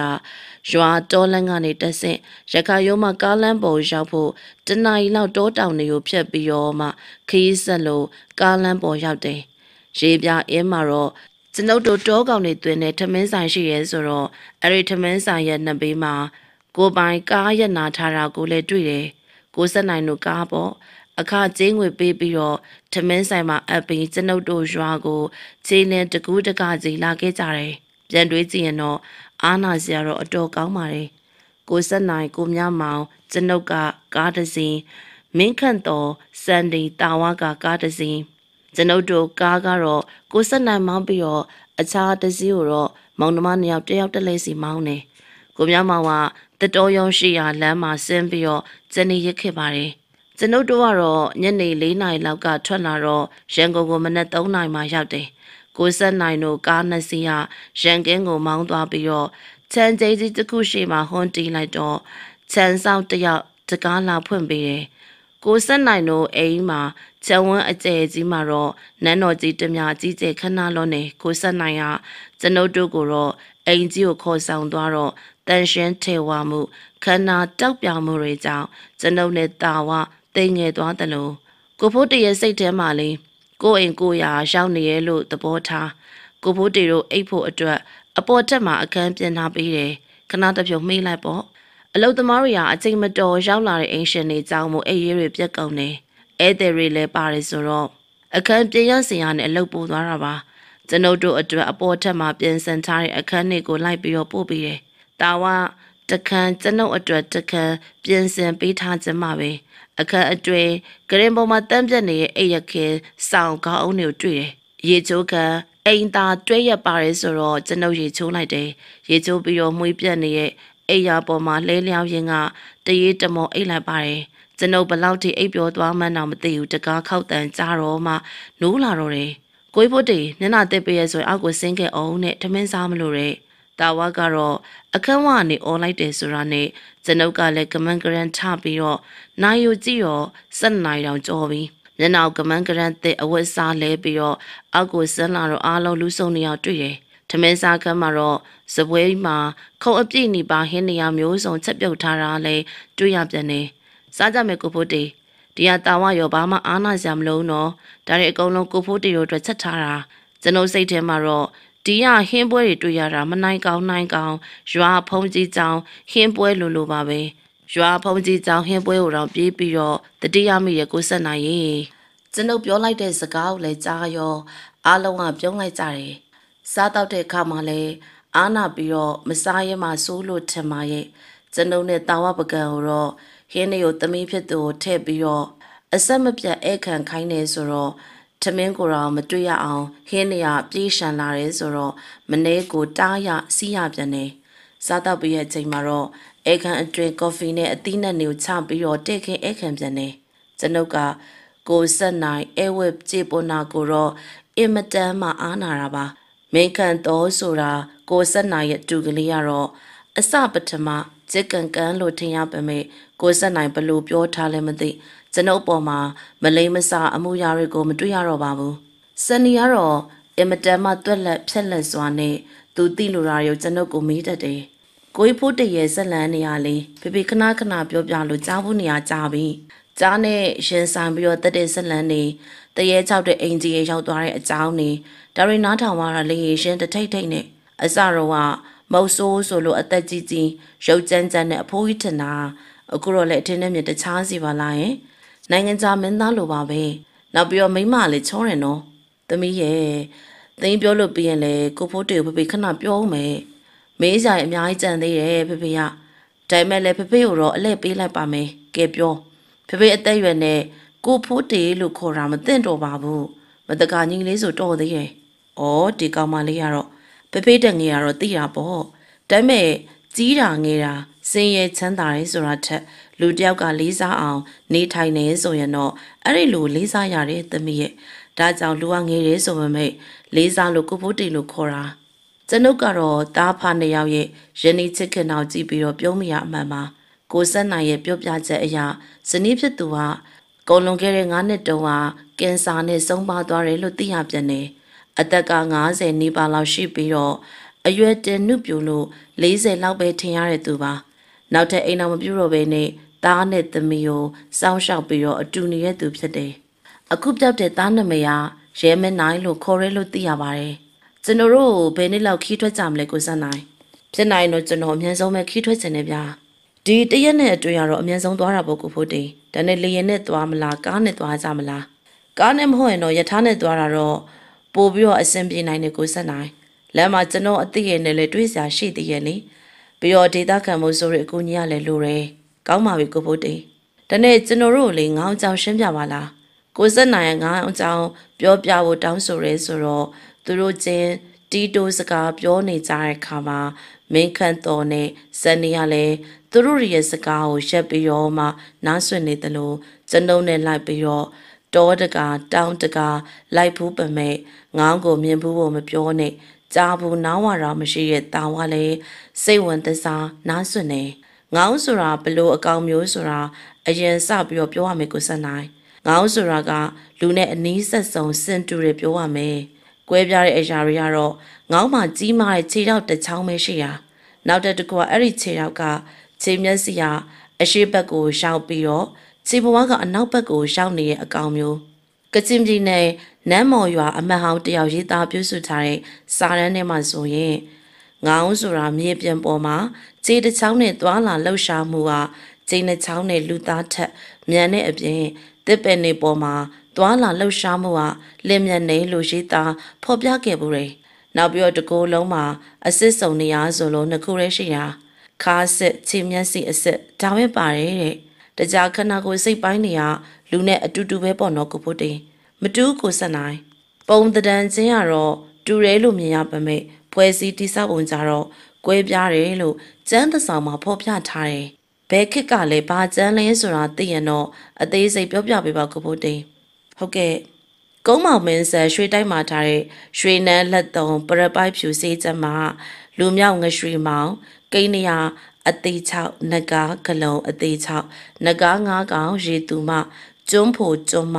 ငောင်းစတဲ့ပုံတွေကိုအသေးစိတ်ရေးဆွဲပြသထားတာအဲ့ဒီထဲမှာ ဖော်ပြချက်အရာဆိုရင်ငောင်းရဲ့အရက်ကအခုခေတ်နဲ့အရက်နဲ့တွက်ကြည့်လိုက်မယ်ဆိုရင်တော့ငါးပင်နီးပါလောက်ရှိမယ်ယောက်ျားမိန်းမလိန်အင်ကာကွဲပြားမှုကြတော့ရုပ်ကဖို့တင်ပါရာပေါ့ကိုစက်နိုင်အတီးမအင်္ဂါဇက်ကလူသားမိန်းမလူသားယောက်ျားနဲ့အတူတူပဲနဖူးက6လက်မလောက်ပြောင်းပြီးတော့မေယိုရှေ့ရှေ့ကောက်ကောက်ရှိတယ်နောက်စိတ်မှာပေါက်ချွန်းလိုလိုအမောက်လိုလိုချွန်းထွက်နေတတ်တယ်ငောင်းနေရ စပင်စံသားတအားကောင်းကြတယ်ဆိုတော့ရှေ့ရမြမအမျိုးသမီးတွေကငောင်းစပင်ကိုစတုံးထုံးတဲ့နေရာမှာရောပတ်ပြီးရောမှထုံးခွေကြတယ်လို့ပြောတယ်ငောင်းရဲ့စပင်နဲ့ရောထားရဲဆိုရင်လူရဲ့စပင်ရလဲစပင်စံသားကောင်းတယ်လို့အယူဆွဲရှိကြတယ်လေရှေ့ရယောက်ျားကြီးရဲ့ကတော့ငောင်းရဲ့အယူနဲ့စေးတန်လှုပ်ပြီးတော့တောက်တယ်ဒါကလည်းအယူဆွဲနေပေါ့ဗျာသွားရရအသက်ကြီးရဲ့ဒီမပြက်စီးပဲနဲ့ခိုင်နေဆိုတဲ့အယူနဲ့တောက်တာ အဲ့လိုဆိုရင်ငောင်းနေရရှေးကြရရှိရပေါ့နော်ကိုဖို့တေးရှေးမြမာရာဇဝင်ကျန်းကန်နေထဲမှာတော့မှငောင်းအကြောင်းပါတယ်ကိုဆက်နိုင်ရဲ့ဘိုးရဖရာမင်းလက်ထက်တောင်ငူမျိုးမြတ်စောညီနောင်ဖရာအနားမှာငောင်းတကောင်တွေ့လို့တောင်ငူမျိုးဝင်နဲ့သူ့ရဲ့လူတွေဝိုင်းပြီးတော့ဖမ်းတာအရှင်မေရဲ့ဆိုတော့တောင်ငူမျိုးဝင်ကဘိုးရဖရာကိုဆက်တာတဲ့အကြောင်းမှတ်တမ်းရေးသားဖော်ပြထားတာငောင်းနေရအသားငါမစားဘူး အော်လိုက်တယ်ဆိုရင်ငှက်တန်ထွက်ပြီးတော့ငောင်းငောင်းဆိုတဲ့အတန်ပြပြတတထွက်နေလို့ငောင်းလို့ခေါ်တာတဲ့ရှေးတော့ငောင်းနေရတော်တော်ပေါ်တဲ့ပုံပဲတော့ကိုဖို့တင်ပေါ်တဲ့ပုံပေါ့တချို့အရက်အပြောဆိုရင်ငောင်းနေရအယမ်းမြန်ပြီးတော့ထောင်ကျောင်းစင်ဖမ်းရခတ်တယ်ဒါပေမဲ့ငောင်းသွားလာတယ်ဆိုရင်လမ်းမှာငပြောဖက်ခင်းထားတယ်ဆိုရင်တော့ငောင်းလာတယ်ဆိုရင်ချော်လဲပြီးတော့တော်တော်နဲ့ထားလို့မရဘူးတဲ့ ငောင်းကိုအဲ့ဒီလိုဖမ်းနေဒါကတော့ရုတ်တိရောမတန်ဘူးပေါ့လေရှေ့ကလူတွေရဲ့ယုံတန်းစကားကိုချစ်ကားပြီးတော့ပြောရလို့တော့ထင်တာပဲကိုဖိုးတီတို့ရခရုံးမဘက်မှာရောငောင်းနဲ့ပတ်သက်ပြီးတော့ရာဇဝင်သမိုင်းကြောင်းနေမရှိဘူးလားမရှိဘူးကိုဆက်နိုင်ကျွန်တော်တို့အရက်ကငောင်းမရှိဘူးလေငောင်းနဲ့ပတ်သက်ပြီးတော့ဇလန်းလည်းမရှိဘူးဟောင်းမလင်းဘက်မော်ဝိုင်းမော်မိုးကုတ်အဲ့ဒီနေဘက်တွေမှာတော့ရှေးကာလာတော့ကငေါ့ကိုမကြမကြတွေ့တယ်တဲ့ နောက်ပြီးတော့ငေါ့ကိုအများဆုံးတွေ့တာတော့ကရင်ပြည်နယ်ဒေါနာတောင်တန်းပေါ်မှာမကြခဏတွေးကြတယ်လို့ပြောတယ်အခုတော့ပျောက်သွားပါပြီငေါ့ကပျောက်ကွယ်သွားကြပြီလားနောက်ပိုင်းဒီအကောင်တွေအကြောင်းရောဒန်နာရီလိုလိုပုံမြင်လိုလိုဖြစ်နေပြီဒီဘက်ခက်တွေထဲမှာကြတော့ကချင်ပြည်နယ်မှာဟိုးလေးတကြောကြောဖြစ်သွားခဲ့ရတဲ့ငေါ့ကိုနောက်ဆုံးတွေ့ခဲ့တဲ့ခုနှစ်က1955ခုနှစ်ကငါ့ကိုနောက်ဆုံးတွေ့ရတာပါ ကဝါကွန်ရွာသားဝကြစ်ခတ်နဲ့သူ့ရဲ့အဖော်တွေကတော်ထဲမှာလွှဆွဲကြတယ်ပြီးတော့တလုံးကြီးတွေကိုစင်ပေါ်တင်ပြီးတော့အပေါ်ကလွှစရာတယောက်အောက်ကနှစ်ယောက်ကနေပြီးတော့မှတလုံးတွေလိုအပ်တယ်လို့ခွဲစိတ်ဖြတ်တောက်ပါတာဒီနေရာမှာအပေါ်ကလွှစရာကတစ်ခွဲချောင်းကိုတက်တိနှစ်ချောင်းသုံးချောင်းရိုက်ပြီးတော့မှချဲ့ပြရတယ်ဒါမှတလုံးလွှဆွဲတဲ့အခါကျတော့လမ်းကြောင်းတဲ့တလုံးလွှမညက်တော့ဘူးပေါ့ အဲ့လိုနဲ့တနေကုန်လွှဆွဲပြီးတော့စခန်းပြန်လာတော့ညောင်ပိုင်းလောက်မှာငောင်းငောင်းလို့အော်တဲ့အတန်ရဲ့နောက်ပြီးတော့ငှက်တန်လို့လို့အော်နေတဲ့အတန်မျိုးကိုကြားတော့လွှဆွဲတဲ့စင်နာကတညာလုံးကြားနေရတယ်လို့ဆိုတယ်သူတို့ကလည်းတောချောက်ကြလာပါလားပေါ်စိတ်ထဲထင်တာပေါ့မနက်မိုးလင်းလို့လွှစင်ရှိရဲ့နေရာအလုတ်စင်မှုသွားတော့လူလိုလိုပါလိုလိုခြေတစ်ဖက်နဲ့ထူးထူးဆန်းဆန်းအကောင်ကြီးတကောင်တွေ့တယ်တဲ့ကြမ်းကြမ်းဖန်ဖန်တဲလုံးနဲ့ လွှာဆွဲလမ်းကြောင်းထဲမှာတက်ပြုတ်ထွက်ပြီးတော့လက်ညက်လို့တညာလုံးအောနေတာဒီကောင်ကြီးမှသိလိုက်ရတော့တာပေါ့သူတို့တွေတွေ့တော့ကြောက်လန့်တကြားပုံနဲ့အဲ့ဒီကောင်ကြီးကငှက်လို့အော်တယ်သူတို့ကလည်းအဲ့ဒီအကောင်ကြီးကိုမဖမ်းရဲတာနဲ့ရွာလူတွေကိုလေတယောက်ပြေးခေါ်ပြီးတော့အဲ့ဒီကောင်ကြီးဝိုင်းပြီးတော့ဖမ်းကြတာလူသုံးလေးယောက်ဝိုင်းချုပ်ပြီးတော့မှလွာကြောင်ညက်နေတဲ့လက်ကိုဖြုတ်လိုက်တာ တရွာလုံးကလည်းအလောက်ထူးဆန်းတဲ့လူလိုလိုတရိတ်ဆန်လိုလိုအကောင်ဘာလို့ရမှမသိရနဲ့လောစရာရဲစခန်းကိုပို့လိုက်ကြတယ်ရဲစခန်းလူတွေကလည်းအဲ့ဒီလိုထူးဆန်းတဲ့အကောင်ကြည့်ပြီးတော့အံ့ဩတာပေါ့ရဲစခန်းမှာလည်းတညဖမ်းထားတဲ့အချိန်မှာနောက်ထပ်တနေ့မနက်အဲ့ဒီအကောင်ကြီးကသေသွားပါလေရောတခြားနေရအဲ့ဒီတဲ့င်းကြားလို့ရောက်လာတဲ့သူတွေအဲ့ဒီငောင်းတတဝါဖြစ်တယ်ဆိုတာသိရသူတွေလည်းပါတယ်လေအဲ့ဒါငောင်းကိုတော့အဲ့ဒီဘက်ခစ်မှာ နောက်ဆုံးတွေ့ခဲ့ရတယ်ဆိုတဲ့အဖြစ်ပြက်ပေါ့ဒါဆိုရင်ငောင်းဆိုတာတကယ်ရှိရဆိုတာရှေးကလေးကတက်သိအထောက်ထားရှိရပေါ့နော်ငောင်းကိုရှေးလူတွေကဖမ်းပြီးတော့တက်ဖြတ်ခဲ့တဲ့ပုံပဲဟုတ်တယ်ဦးဆက်နိုင်ငောင်းယိုးဒေါင်းယိုးနဲ့ထိတ်ခတ်နာယောဂအတွက်စေးဖော်ဆက်တယ်လေရှေးနန်းတွင်စေးစက်နေမှာဖော်ပြထားတယ်ကြည့်ရတာငောင်းကိုတွေ့ရဆိုရင်တော့တက်ဖြတ်ကြတဲ့ပုံပဲငောင်းဆိုတာတကယ်ရှိပြီးတော့ မျိုးတုံပျောက်ကွယ်သွားတာလားဒါမှမဟုတ် လူသားတွေကိုရှောင်တိန်ပြီးတော့လျှို့ဝှက်နေကြတာလားဘာအကြောင်းကြောင့်ငောင်းနေပျောက်ကုန်တာလဲဆိုတာတော့တွေးရခက်တာပေါ့နော်ဟုတ်တယ်ကိုဆက်နိုင်အဲ့ဒါဘေးလေးဆန်ဆန်ပျောက်ဆုံးမှုပဲငောင်းနဲ့ပတ်သက်တယ်ဆိုရင်တော့ရှေးရတိုင်းရင်သားရိုးရာပုံမြင်နေလည်းရှိတယ်ကချင်ပြည်နယ်ကတိုင်းရင်သားပုံမြင်တပုတ်ထင်တာပဲရှေးတုန်းကအဖေနဲ့အမေတောင်ရသွားတဲ့အချိန်မှာသူတို့အဖေမရ ဘသူလာလာတကားမဖွင့်ပေးဖို့ပြောပြီးတော့ဆယ်နှစ်အရွယ်သားနဲ့သမီးကိုတောင်ရနာကသူတို့တဲမှာပဲထားတာအဖေနဲ့သွားပြီးတော့တိတ်မကြခင်မှာပဲသားသမီးရေးဆိုပြီးတော့သူတို့အဖေကိုရဲ့အတန်ကြတော့အိမ်တကောက်မောင်ဖြစ်တဲ့သူကဖွင့်ပေးမယ်လို့တော့အမဖြစ်သူကမတင်ကာရနဲ့မဖွင့်ပေးဖို့ပြောပြီးတော့တကားကြချောင်းစီရောအမွေးစုပ်ဖွားရင်းနဲ့ထူးဆန်းတဲ့လူကြီးတယောက် တကားရှိမှရက်ပြီးတော့သူတို့အဖေအတန်နဲ့ခေါ်နေအောင်ကြောက်လန့်ပွဲတွေ့ရတယ်တဲ့ပြီးတော့သူကကလေးရဲ့အဖေဖြစ်ကြောင်းအတန်တူးနဲ့လိန်ညာပြောပြီးတော့မှတကားဖွင့်ခိုင်းတာကလေးတွေကလည်းကြောက်လန့်ပြီးတော့တကားမဖွင့်ပေးတော့ဘူးပေါ့အဲ့ဒီကောင်ရကလေးတွေကိုလှည့်ပတ်လိန်ညာလို့မရတော့အိမ်ရောက်ထဲဝင်ပြီးတော့ခြေတစ်ချောင်းစာဆက်နဲ့ကြမ်းပေါက်အကျဲဟာနေပြီးတော့ခြေရောက်တစ်ချောင်းထိုးပေးပြီးတော့သူ့ရဲ့ခြေရောက်ကိုကုတ်ပေးတဲ့မကုတ်ပေးရင်တက်ပြစ်မယ်လို့ပြောတယ် ကလေးနှစ်ယောက်ကလည်းကြောက်လန့်ပြီးတော့အမွေးချမ်းကြီးနဲ့သူ့ရဲ့ခြေရောက်ကိုတနေကုန်ကုတ်ပေးရတဲ့လေကလေးနှစ်ယောက်ကလည်းအဲ့ဒီလိုတလဲစီတလဲစီကုတ်ပြီးတော့ညနေဆောင်မိဘတွေတောင်ရတရားပြန်လာမဲ့အချိန်ရောက်တော့မှအဲ့ဒီကောင်ရပြန်သွားတာတဲ့မိဘတွေရောက်တော့ကလေးတွေကကြောက်စရာကောင်းတဲ့အကောင်ကြီးတစ်ကောင်ရောက်လာပြီးတော့သူ့ရဲ့အမွေးကျန်းနဲ့ခြေရောက်ကိုတနေကုန်ကုတ်ခိုင်းတဲ့အကြောင်းငိုယိုပြီးတော့ပြောတာပေါ့ကလေးမိဘတွေကတော့ကလေးတွေမကြောက်လန့်အောင်ချုံမော်ပြီးတော့ နောက်ထပ်တစ်နေ့ကျတော့ကလေးအဖေကဓာတ်ကိုမြင့်နေအောင်တွေးတယ်ခါတိုင်းလိုပဲလင်မယားနှစ်ယောက်ကတောင်ရခင်းကိုသွားမဲဟန်ပြုတ်ပြီးတော့ကလေးဖေကလမ်းတဝဲလှည့်ပြန်လာပြီးတော့အိမ်နောက်ဖေပေါက်ကနေတက်တယ်ပြီးတော့အိမ်ထဲမှာပုံးတာအဲ့ဒီလိုနဲ့အဲ့ဒီကောင်ရညကလိုပဲပြန်ရောက်လာပါလေရောကျန်းပေါက်တရသူ့ရဲ့ခြေရောက်ထိုးသွင်းပြီးတော့ကုတ်ခိုင်းပါလေရောကလေးနှစ်ယောက်ကိုကုတ်ပေးဖို့သူ့ဖေရမှာထားတော့ခဏတစ်ဖြုတ်ကုတ်ဖေးပြရဲ့အချိန် တားသမီးတွေကိုဖယ်ဖို့အချက်ပြလိုက်တယ်ပြီးတော့သူ့ရဲ့လက်ကဓားနဲ့ခြေထောက်ကိုပေါင်ရဲလောက်ကနေပြီးတော့ဓာတ်နဲ့အားကုန်ခုတ်ပိုင်းလိုက်တော့တာခြေထောက်ကတီကနေပြက်ပြီးတော့အိမ်ပေါ်မှာတင်နေတော့တယ်တဲ့အဲ့ဒီအချိန်မှာပဲအိမ်အောက်ကအကောင်ကြီးကငောင်းငောင်းဆိုတဲ့အော်တန်ပြုတ်ပြီးတော့ခြေထောက်တစ်ဖက်နဲ့ခုံဆွခုံစားတောရဲကိုဝင်ပြေးတော့တာပေါ့အဲ့ဒီကစပြီးတော့တောတက်တယ်ဆိုရင်လူတွေကလေ ခြေထောက်တစ်ဖက်ခုံဆွခုံဆွသွားပြီးတော့ငောင်းငောင်းလို့អော်တဲ့အကောင်ကြီးတကောင်တော်ရဲမကြမကြတွေ့ရတယ်ပြောတယ်အဲ့ဒါကရိုးရပုံပြင်မှာပဲကိုဆက်နိုင်အဲ့ဒီပုံပြင်ကိုထောက်ရှုကြည့်မယ်ဆိုရင်တော့ငောင်းဆိုတဲ့တတဝါကရှေးကလူတွေတော်ရဲမကြခဏတွေ့ပြီးတော့ငေါအကြောင်းကလေးတွေကိုဆက်လန်းစင်ပြောကြတာဖြစ်မယ်လို့ကျွန်တော်ကတော့တွေးတယ်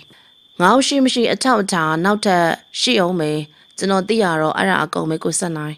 ကျွန်ုပ်ကတော့ငေါအမှန်တကယ်ရှိမရှိတမိုင်းအကြောင်းအရာစာပေအထောက်အထားတွေနောက်ဆုံးတွေးရှိချက်တွေရိုးရာပုံမြင်နေကိုတော့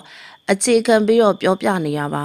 ကျွန်ုပ်ကစကားအရှိကြီးပြောလိုက်ရတယ်ဆိုတော့အာကောင်တွေ၆ကပ်ပြီးတော့ရေဘူးဝရေကိုရေတခွက်ငှဲတောင်းလိုက်တယ်အခြားသူတွေကိုကြည့်လိုက်တော့အားလုံးငြိမ်သက်သိစိတ်သွားတာသူတို့စိတ်ထဲမှာတော့ထူးဆန်းလာတဲ့တတဝါငောင်းအကြောင်းကို တွေးတောနေကြတဲ့ပုံ ကျွန်ုပ်တို့လူစုကကချင်ပြည်နယ်မြောက်ဖျားပိုင်းအရက်ကိုဆက်လက်ပြီးခရီးထွက်လာခဲ့ပါတယ်။ရဲမဲနိုင်သွားတာကတော့ကချင်ပြည်နယ်ရဲ့အစွန်ဖျားဒေသကရွာငယ်လေးတရွာရွာနမရပန်းတောင်ခမ်းရွာလို့သိရပြီးတော့မိသုံးမိပုံတသွားလာရမလဲဆိုတာမသိနိုင်လောက်အောင်အခက်တွေ့တယ်။စောနွေစီတန်းចောင်းသာမဟုတ်ရင်တော့ဒီခေတ်ကျွန်ုပ်တို့သွားလာဖို့ဆိုတာအခက်ခဲရှိမှအသေးချပဲ။ကျွန်ုပ်တို့ရရ န်ကုန်မှာလိုအပ်တာတွေပြင်ဆင်ပြီးတော့တရက်ထက်ပြီးတော့နေပြန်နေ။ကျွန်ုပ်ကတော့မြစ်ကြီးနားကအတိမိတ်ဆွေတယောက်စီမှာဖုန်းဆက်လို့တကယ်လို့လူကြုံရှိရဆိုရင်စောနွေစေးထန်းကိုတော့မြစ်ကြီးနားတက်လာစေလိုကြောင်းအလွန်အရေးကြီးရဲ့ကိစ္စတရက်နဲ့ကျွန်ုပ်လာနေကြောင်းလမ်းပြီးတော့အကြောင်းကြားတယ်။ကျွန်ုပ်တို့အဖွဲ့မြစ်ကြီးနားရောက်သွားတဲ့အချိန်မှာတော့စောနွေစေးထန်းကကျွန်ုပ်ကိုစောင့်ကြိုလို့နေပါတယ်။တခြားလူတွေက တဲခိုကန်ထဲမှာတဲခိုနေတဲ့အချိန်တော့ကျွန်ုပ်ကိုဆက်နိုင်စောနွေစေးထန်းတို့၃ယောက်စားတော့ဆိုင်သဆိုင်မှာတွေ့တယ်။ငါတော့မင်းကငါတို့ဒေတာကြောက်သွားပြီးတော့နောက်တစ်ချိန်ပြန်ပြီးတော့လာရတော့မှမဟုတ်ဘူးလို့ကိုထင်တာဖိုးတင်ရကြောက်စရာလားစောနွေရဲ့ငါရဲ့အသက်ကိုသိမရလက်မမခံသေးရကွာငါမသိနိုင်သေးစိတ်ချအဲ့ဒါဆိုမင်းဒီပရာကိုတတိမရဘူးလားဒီပရာဆိုတဲ့နာမည်ကိုကြားတော့ကျွန်ုပ်ရဲ့ထဲမှာ စွတ်ဖို့လိုက်မောတဲ့စိတ်တွေခံစားချက်တစ်ခုနဲ့အတူပေါ်လာတာတော့အမှန်ပါဟာဒီပရာနာမည်ကြားတယ်မင်းငြိမ်သွားပါလားဒီเจ้าနေပြန်ပြီးတော့မစပါနဲ့စိုးနွေရဒါငါရဲ့မိတ်ဆွေကိုဆက်နိုင်နဲ့ငါတို့အခုလာတာကိုဆက်နိုင်ကိစ္စနဲ့လာတာ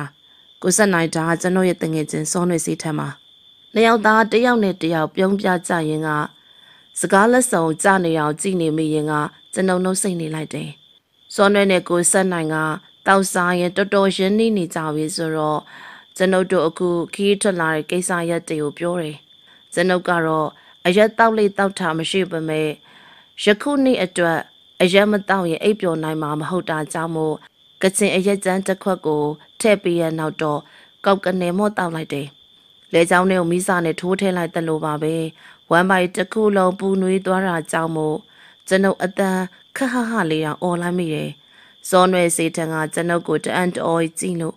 ကျွန်ုပ်အရက်တောက်တာကိုသူမမြင်တွေ့ဘူးတာကြောင့်ကျွန်ုပ်နှုတ်ဆက်ပြီးတော့မှအရက်တောက်နေခြင်းရခံစားချက်ကြောင့်လို့သူတိသွားတဲ့ပုံပဲအရက်ကပြင်းလွန်းနေဆိုတော့မကြခင်မှာတဖြည်းဖြည်းခေါင်းရည်တစ်ခုလုံးရီဝေမူးရလာတယ်ကျွန်ုပ်ကမဖြစ်သင့်ဘူးဆိုတာသိပေမဲ့ဒီဘရောင်ပြင်းပြင်းထန်ထန်တတိရတယ်အဲ့ဒီနေ့ကအိယာပေါ်မှာဘလို့ရောက်မှန်းလဲကျွန်တော်မသိပါဘူး မြကြီးနားမှာတော့ရဲမဲနိုင်တဲခိုခဲ့ရမြကြီးနားတငယ်ချင်းတဲခိုရအိမ်ကိုစုံစမ်းတော့သူတို့သွားခဲ့ရဲဆိုတဲ့လမ်းကြောင်းတွေကိုခြေရခံလို့ရခဲ့ပါတယ်19315ပေအမြင့်ရှိတဲ့ခါကာဘူရာစီတောင်ကမြမပြည်ရဲ့အမြင့်ဆုံးသောနင်းဖုံတောင်နှန်းကြီးပါကျွန်ုပ်တို့လူစုဥတီယာအရက်ကခါကာဘူရာစီတောင်နှန်းကြီးကိုဥတီသွားနေကြမှာပဲကားနဲ့သွားလာလို့မရတဲ့နေရာကခြေလင်လျှောက်ကြရတယ်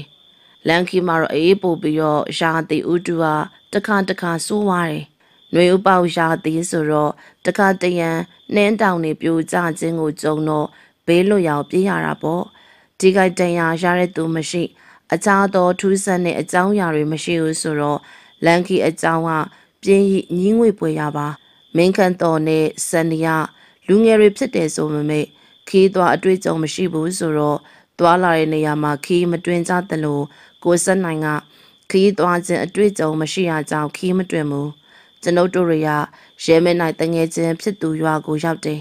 အဲဒီရွာကိုရောက်တော့ရဲမင်းနာကိုလှမ်းခေါ်တဲ့အခါမှာတငယ်ချင်းရမ်မုံဝါအင်ကိုအလွယ်တကူပဲရှာတွေ့ပါတယ်ရမ်မုံဝါရဲ့မိဘတွေစီကရဲမင်းနိုင်အကြောင်းစုံစမ်းမေးမြန်းကြည့်တော့ရဲမင်းနိုင်ကသူတို့သားထံကိုရောက်လာကြောင်းအစပထမသူတို့နှစ်ယောက်ကရွာကို၃ရက်တစ်ကြိမ် ၄ရက်တစ်ကြိမ်ရောက်လာသေးကြောင်းနောက်ဆုံးတစ်ခေါက်မှာတော့၄၅၁၀ရက်လောက်ရောက်မလာနိုင်တာကြောင့်မို့စိတ်ပူပြီးတော့ရက်အတန်းကြာလိုက်ရှာကြပမေရှာမတွေးကြောင်းမိခင်ဖြစ်သူကငိုကြီးချက်မပြောရဲဆိုတော့ကိုဆက်နိုင်ကတားဖြစ်သူကိုအသက်ရှင်ရက်တွေးရပါမလားလို့တွေးရပုံမျက်စိမျက်နှာပြက်တယ်သူသားနဲ့တငယ်ချင်းဖြစ်သူသွားတဲ့အရက်ကအလွန်ဝေးရဆိုတော့တစ်ကြိမ်တစ်ကြိမ် သွားရောက်ရှာဖွေပြီးတော့မတွေ့တဲ့အခါမှာစိတ်လျှော့လိုက်တယ်လို့ပြောတယ်။တားဖြစ်သူရမ်မုံဝါနဲ့တငယ်ချင်းဖြစ်သူကဘေးဒုက္ခတစုံတရာကြုံပြီးတော့အသက်ဆုံးရှုံးလိုက်ရပြီဖြစ်တယ်ဆိုတာကိုလည်းပြောပြတယ်။ကိုစစ်နိုင်ရတော့မျက်စိမျက်နှာတွေပြက်လို့ပေါ့ကျွန်ုပ်က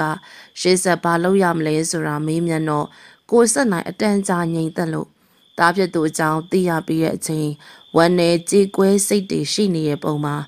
နောက်ဆုံးကိုဆက်နိုင်က တားဖြစ်သူနောက်ဆုံးသွားခဲ့ရဲဆိုရဲရွာကိုသွားလို့အချိန်လေးတစ်ခုခုများထူးခြားလို့ထူးခြားညာသွားကြည့်လို့ရဲလို့ပြောတော့သူ့ရဲ့ဆန္ဒအရာကျွန်ုပ်တို့ဖွဲ့ရတော့လမ်းပြဥဆောင်မှုနောက်ကိုလိုက်ရင်ကတနေ့နဲ့တညခီးနှင်ပြီးတဲ့အခါမှာတော့ပန်းတောင်ခံရွာကိုရောက်လာခဲ့ကြပြန်တယ်လမ်းပြတာကတော့ကျွန်ုပ်တို့ရွာကိုပိုးဆောင်ပေးပြရနဲ့သူရဲ့တာဝန်ကြီးသွားပြီဆိုတော့ပြန်ပြီးတော့မှလှည့်ပြန်သွားပါတယ် ပန်းတောင်ခံရွာက တောင်ကြားကြိုင်ဝမ်းလွင်ပြင်က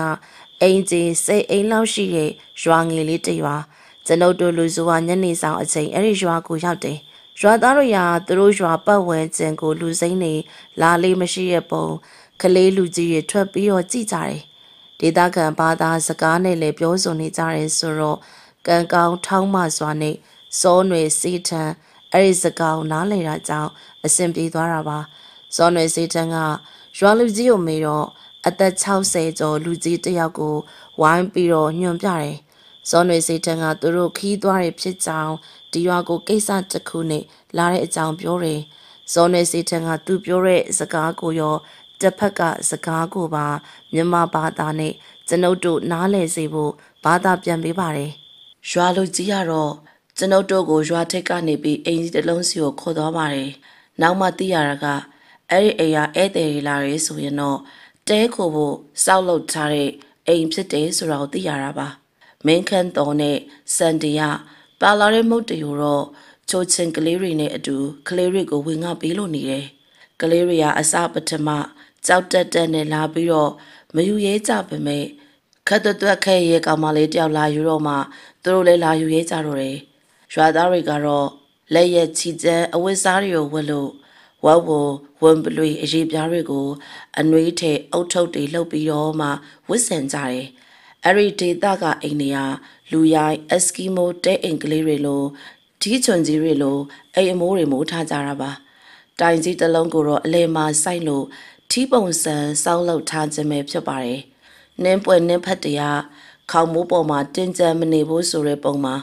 ဘေးပပတ်လေကိုလေလေးပတ်လေးတန်ကာယံထားတယ်။ အတွင်းပိုင်းမှာတော့အခန်းဖွဲ့ပြီးတော့မှအလဲအခန်းထဲမှာမီးလုံဖို့မီးလင်းဖို့တွေကိုပြုတ်လုထားတာပါ။ဝပိုးဝါအရှိကြီးကိုအစစ်ဖောက်ပြီးတော့မိခိုဝါတိုင်အနေနဲ့ခေါမိုးပေါ်မှာဖောက်ပြီးတော့မှတွေ့တန်းထားတယ်။ကျွန်ုပ်ကတော့ပါလာတဲ့နှုတ်စီတကြားငါးသက်တာဘူးတွေခောက်ဆွဲချောက်တွေစတာတွေကိုတော့ရွာသားတွေကိုဝေမျှပေးဖို့စောနွဲ့ဈေးထန်းကနေတက်ဆင့်ရွာတကြီးကိုပြီးလိုက်ပါတယ်ရွာတကြီးက အခုဒေတာကိုတော့မိသည့်အကြောင်းနဲ့ရောက်လာတယ်လေဆိုတာကိုမေးတယ်ကျွန်ုပ်တို့သိလို့တဲ့အကြောင်းအရာတွေကိုတော့ရွာလူကြီးကိုမေးမြန်းခိုင်းလိုက်ပြန်တယ်စောနွေစီထံက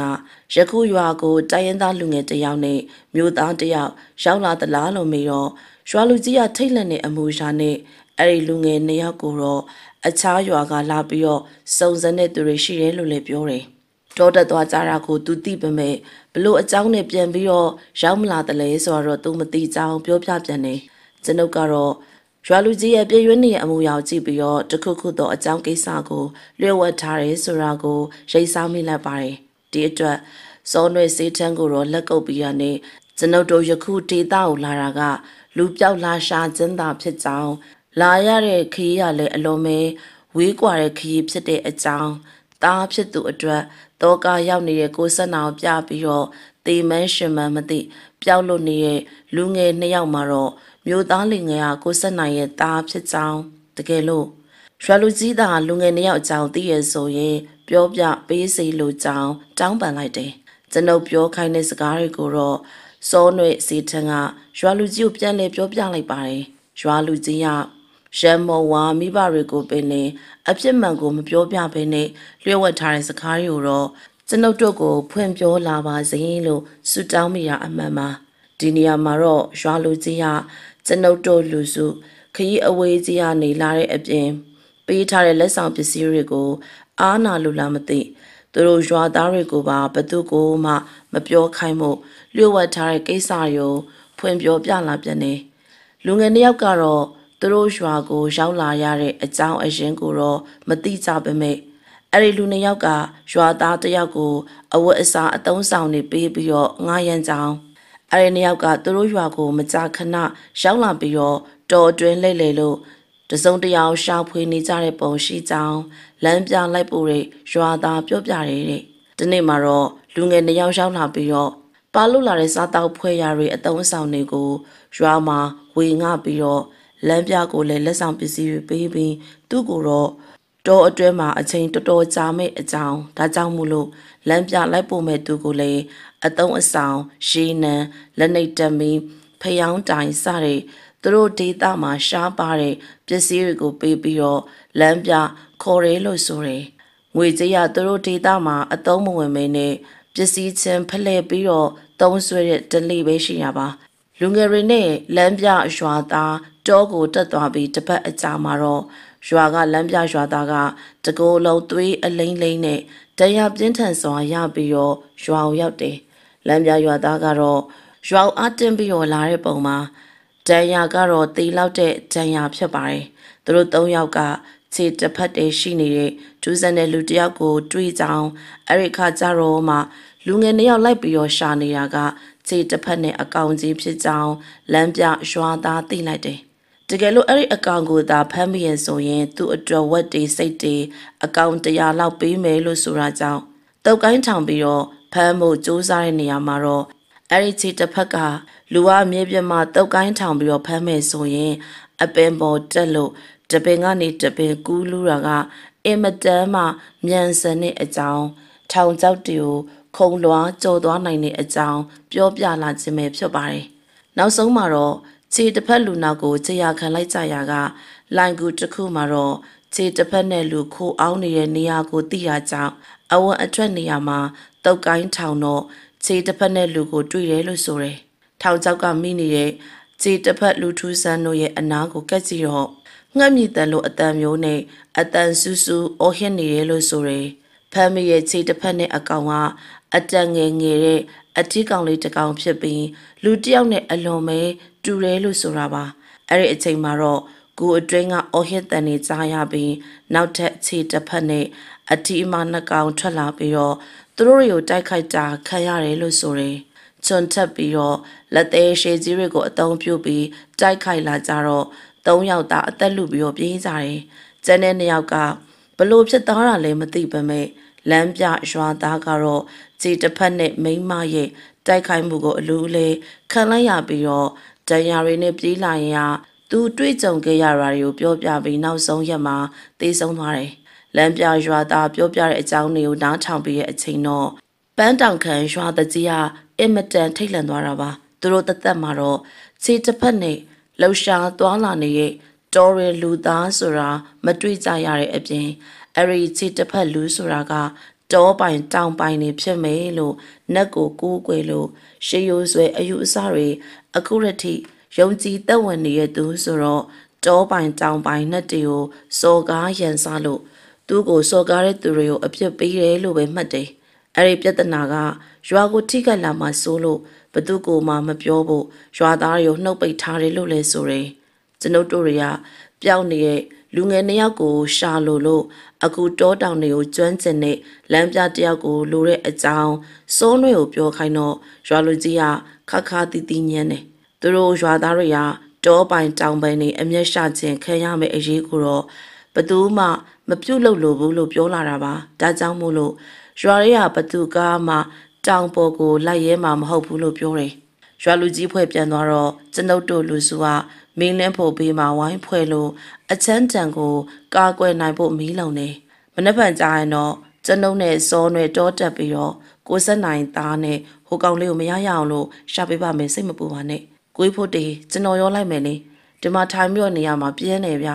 နောက်ပြီးတော့ငါ့ကိုလည်းမြင်ဘူးချင်တယ်ဘယ်သူမှလိုက်လို့မရဘူးငါနဲ့စောနွယ်ဆိုတာအန်ရဲ့ကြုံလာရဲဆိုရင်ကိုယ်တိုင်ဖြေရှင်းနိုင်တယ်လို့ တယောက်ကိုတယောက်ကူညီပေးနိုင်နေဆိုတော့ပြဿနာမရှိဘူးလေအခြားသူတွေပါလာရဲဆိုရင်တော့သူတို့တွေအတွက်ငါတို့ငဲ့ညာနေရတာနဲ့အားလုံးဒုက္ခရောက်မှာကိုဆက်နိုင်ဟာစိတ်တက်ကြနေရဲ့ပုံသမီးနဲ့တူဖြစ်တဲ့သူဟာလူငယ်မပီနေမြင့်အသက်အစမ်းကိုရောက်တယ်ဆိုတော့ပြောနေကြတယ်ကိုဆက်နိုင်ကကိုဖို့တရဲ့အားကိုးပါတယ်ကျွန်တော်သားလေးကိုတွေ့အောင်လို့ကူညီပေးပါနော်စိတ်ချပါကိုဆက်နိုင်မနေ့ဖက်ကစပြီးတော့မှကျွန်တော်တို့နှစ်ယောက်တောတက်ပါမယ်တပတ်အတွင်းပြန်လာခဲ့ပါမယ် တကယ်လို့တပတ်ပြည့်လို့ကျွန်တော်တို့ပြန်ရောက်မလာခဲ့ဘူးဆိုရင်တော့နေရက်ကိုပြန်ကြပါကိုဖွတ်တေကျွန်တော်ကိုယ့်အနေကိုကောက်ွယ်နိုင်ပါတယ်ဗျာကိုကြီးတို့လည်းအကူအညီပေးချင်လို့ပါလောက်ပါဗျာကိုကြီးစုံးနေပြောပြပါအောင်တာဝါကိုခေါ်ရအောင်လေးဖွတ်တေလိုအပ်တယ်ဆိုရင်အကူအညီလေးပါလေးရတာပေါ့သူကလည်းတော့အတွေ့အကြုံရှိပြီးသားပဲဥစ္စာကျွန်ုပ်ကတော့သူ့အတွက်စိုးရိမ်လို့ပြောတာစောနေရဲ့ကဲလိုက်ချင်တယ်ဆိုတော့လည်းလိုက်ခဲ့ပြောစကားတော့နားထောင်တော့တာဝါမင်းကတေရွာပြန်လာပြီးထေရပြောင်းလဲလာရင်တော့ဖို့တေ ငါကဘာတွေပြောင်းလဲသွားလို့တော့စောနေရအများကြီးပုတ်ကွာမင်းစိတ်လဲပူတက်လာတယ်အရင်ကအကြောက်လည်းမရှိသလောက်အခုမင်းတွေ့တွေ့ငင်းငင်းနဲ့ဖြစ်လာတယ်ကွာဘာဖြစ်လို့လဲဒီပရာကြောင့်လားမဟုတ်ပါဘူးကွာမင်းကလည်းတာဝါကတော့ကျွန်ုပ်တို့နဲ့လိုက်ချင်နေရဲဆိုတော့စောနွဲကိုပါအကူအညီတောင်းပြီးတော့လိုက်လို့ရဲလို့ပြောခိုင်းတော့တောအတွေးကြုံရှိတဲ့တလောက်ရှိနေပြီဖြစ်တဲ့တာဝါကိုတော့တခုခုပြစ်မှာစိုးရိမ်နေတာအမှန်ပဲမဲ့ လိုက်ဖို့ရအတွက်ခွင့်ပြုလိုက်တယ်။တေရွာကပြန်လာပြီးထရာကျွန်ုပ်စောနွဲပြောသလိုပြောင်းလဲနေရတော့အမှန်ပဲညနေဆောင်ရွာလူကြီးအစီမံနဲ့ပဲရွာလာပို့တယ်။ပြောင်းရောထားတဲ့ဆက်မှာအသားချောက်တစ်မျိုးကိုထည့်ပြီးတော့ကြိုထားတာပါ။ညစာကိုတော့ကိုဆက်နိုင်လို့တာအဖနဲ့တူဖြစ်တဲ့သူဟာကြိုက်ပုံမတူဘူး။ခေါက်ဆွဲချောက်တွေပြုတ်ပြီးတော့စားနေကြတယ်။ကျွန်ုပ်တို့၃ယောက်ကတော့အာရပါရအသားချောက်စံပြုတ်ကိုစားတယ်။ညနေတဲ့အထိ မိပုံနာမှာဝိုင်းဖွဲ့ထိုင်ရင်ကအေးပူလာတယ်ဆိုတော့ကိုဆက်နိုင်ယူလာတဲ့ဝီစကီကိုအချမ်းပြေတယောက်နှစ်ပတ်စီလောက်အိတ်ခါနေမောလိုက်တယ်။အဲ့လိုမှမဟုတ်ရင်တော့အေးတန်ကြောင်ညအိမ်နိုင်မှာမဟုတ်ဘူးလို့ပြောတယ်။အပြင်ဘက်မှာလေကျန်းနေတိုက်ခတ်နေရဲ့အိမ်ညံကိုလည်းလေတိုးနေရဲဆိုတော့ကျွန်ုပ်တို့တွေကမီးပုံကြီးကိုစုပတ်ပြီးတော့အထုပ်တွေကိုကောင်းအောင်ပြီးဖြတ်တလုံးအိတ်လိုက်တယ်။နောက်ထပ်တနေ့မနေ့စောစောချလို့ကျွန်ုပ်တို့၃ယောက်က လိုအပ်တဲ့ပစ္စည်းတွေရိတ်ခါအချောက်တွေကိုထုတ်ပို့ပြီးတော့တောတက်ဖို့ပြင်နေကိုဆက်နိုင်တို့၃ယောက်ကိုစိတ်မပူကြဖို့ကျွန်ုပ်ကမှကြားရင်ဟာအိမ်ကထွက်လာခဲ့တော့အိမ်ရှိမှရက်ဆောင်နေတဲ့ရွာလူကြီးနဲ့တာဝအရွယ်ကောင်းလေးတယောက်ကိုတွေ့တယ်ကျွန်ုပ်တို့အဖွဲ့ကိုတော့ရွာလူကြီးကတစုံတရာလမ်းပြောတော့စောနွယ်အပြောရကျွန်ုပ်တို့တောတက်မဲ့ခရီးစင်တဝက်ကိုအဲ့ဒီကောင်းလေးကလမ်းပြလိုက်ပို့ပေးမယ်လို့ပြောလာတာကြောင့် ကျွန်ုပ်တို့တွေကရွာလူကြီးကိုကျေးဇူးတင်စကားဆိုပြီးတော့လူငယ်ဦးဆောင်ရာနောက်ကိုလိုက်ပါလာခဲ့တာပါမကူညီရနဲ့စာရင်တော့အခုလိုခီးတဝက်လောက်လိုက်ပို့တာကကျေးဇူးတင်စရာကောင်းနေရတော့အမှန်ပဲမရဘူးတဲ့နေရာဒေသကကျွန်ုပ်တို့အတွက်အထောက်ပံ့အကူအညီအများကြီးရတယ်ရွာရဲ့အရှိတ်ဆူဆူအရက်ကိုတော့ကျွန်ုပ်တို့ကိုအဲ့ဒီလူငယ်ကဥဆောင်ပြီးတော့ခေါ်သွားတာပါရာသီဥတုကလည်းမုံမိုင်းဆူဆွလို့ တတော်ကြီးတွေကတဆောင်းလုံးစီးနှင်းနေအောက်ကိုရောက်နေရကစီးနှင်းနေအရေးပြောပြီးတော့နေရတထောက်တောက်ကြတယ်တောကြီးကကျွန်ုပ်တို့ရိုးမလိုအောက်ခြေချုံတွေမရှိမြမလာတဲ့တစ်ပင်ကြီးတွေအစီရီပေါက်လို့နေတယ်နေတဝက်လောက်ရောက်တဲ့အခါမှာတော့လူငယ်လေးက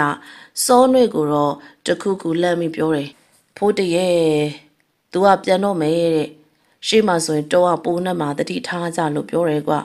လူငယ်လေးကကျွန်ုပ်တို့တွေကိုခီးတဝက်လိုက်ပို့ပြီးတော့ပြန်လှည့်သွားတယ်ကျွန်ုပ်တို့ကရှေ့ဆက်လို့မကျွမ်းကျင်တဲ့တောကိုတော့စန်တဝဝသွားပြီးဘဲစီဘဲဝဲရောက်မှမသိတဲ့သူတွေကိုရှာရတဲ့အဖြစ်က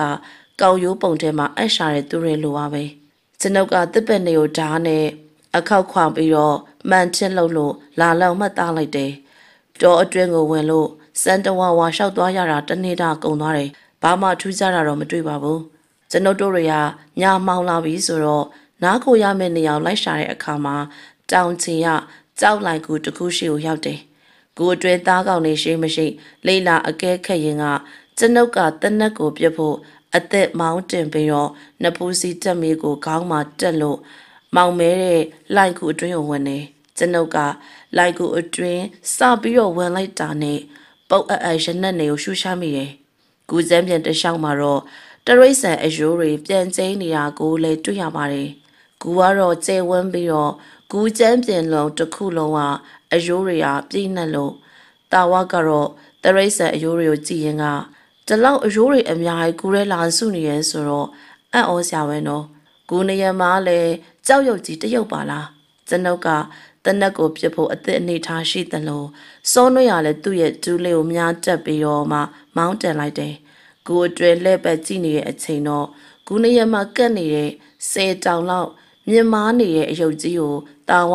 လမ်းပြောလိုက်တဲ့အခါမှာကျွန်ုပ်တို့နှစ်ယောက်ကြည့်တော့ကူနေရမှာကတ်နေတဲ့ကြောက်သားရုပ်ကြီးစီကိုနှစ်ဘူးစီတက်ပြီးအလင်းရောင်၃ခုတွားပြီးတော့စုံနေအယုတ်ကြီးကိုထင်းထင်းရှားရှားတွေ့ရပါပြီနှစ်ဘူးကမောက်မောက်မျက်လုံးပြူပြူနှာခေါင်းပွားပွားပါစက်ပြဲပြဲကြီးမတောက်ခိုင်တဲ့ကိုလုံးကြီးနဲ့ရှိနေပြီးတော့ကြောက်ရုပ်ကြီးက အင်မတန်မှစက်တရကင်းမဲ့တယ်ကျွန်ုပ်ကကြောက်ရုပ်ကြီးကိုကြည့်နေရင်ရုတ်တရက်ကြောက်ရုပ်ကြီးရဲ့ပြူးကျယ်နေတဲ့မျက်လုံးကမျက်တောင်ခတ်လိုက်တယ်လို့ထင်တယ်။တာဝကြောက်ရုံနာအမြန်နောက်ဆုံးအခုပြအမြန်ထွက်အမြန်ထွက်ကြကျွန်ုပ်ကစိတ်ထဲကတင်ငါမကင်းဖြစ်တော့တာဝကိုနောက်ဆုတ်ဖို့ရန်တတိပေးလိုက်တဲ့ခါမှာတာဝကလည်းဘာမှညာမှမသိနောက်ကိုဆုတ်လိုက်တယ်။ဒါကတော့တာဝအတွက်ကံကောင်းသွားခြင်းလို့ပြောရမယ်။ကြောက်ရွံ့ကြီးကရုတ်တရက်ကြီးအသက်ဝင်လာပြီးတော့ ကြီးမားလာတဲ့သူ့ရဲ့လက်ကြီးတစ်ဖက်နဲ့တာဝရက်တဲ့နေရာကိုထူလိုက်တော့တာဝတာအဲ့ဒီနေရာမှာရှိနေရဲဆိုရင်တော့မတွေးရဲစရာပေါ့ဒုံးဆိုရဲခူကျန်းပြန်ပေါ်ကိုကြောက်ရွံ့ကြီးလက်ကြတဲ့အတန်းနဲ့အတူခူကြီးတစ်ခုလုံးတိမ့်တိမ့်တုံပြီးတော့အမုံအမွားကြောက်ဆက်လက်တဲမုံကလေးတွေတတော်တော်ကြတယ်ကျွန်ုပ်ကကြောက်ရွံ့ကိုတနက်နဲ့နှစ်ချက်ဆင့်ပြီးတော့ပြစ်လိုက်တော့တနက်ထရဲ့နေရာက ကြောက်သားလေးတွေကဖွာကနေပွင့်ထွက်ကုန်တာကျွန်ုပ်တို့လူစုကကူပြုံထွက်လာတော့ကြောက်ရွံ့ကြီးကရှေ့ဆက်လိုက်လာရန်ပြုလုပ်ပမဲ့ရှေ့ဆက်တိုးလို့မရဘဲနဲ့တုံကနေဖြစ်သွားပြန်တယ်အเจ้าကတော့ကြီးမားတဲ့ကြောက်ကွင်းဆက်ကြိုးကြီးတစ်ခုဟာကြောက်တစ်ဖက်စီမှာကြောက်သားနှစ်ရက်နဲ့တွဲပြီးတော့ကြီးနှောင်ထားခြင်းကြောင့်ရှေ့တိုးလို့မရတာပါပဲကြောက်ရွံ့ကြီးကကျွန်ုပ်တို့လူစု ကိုပြင်းရောက်သွားတဲ့အချိန်မှာတော့ငကိုမူလဂုဏရမှာပြန်ပြီးတော့ကတ်လို့ငြိမ်သက်သွားတယ်။တာဝါကအကြောက်မပြေသေးတဲ့ပုံနဲ့ရှိနေသေးတာပါ။သူ့ရဲ့ခေါင်းက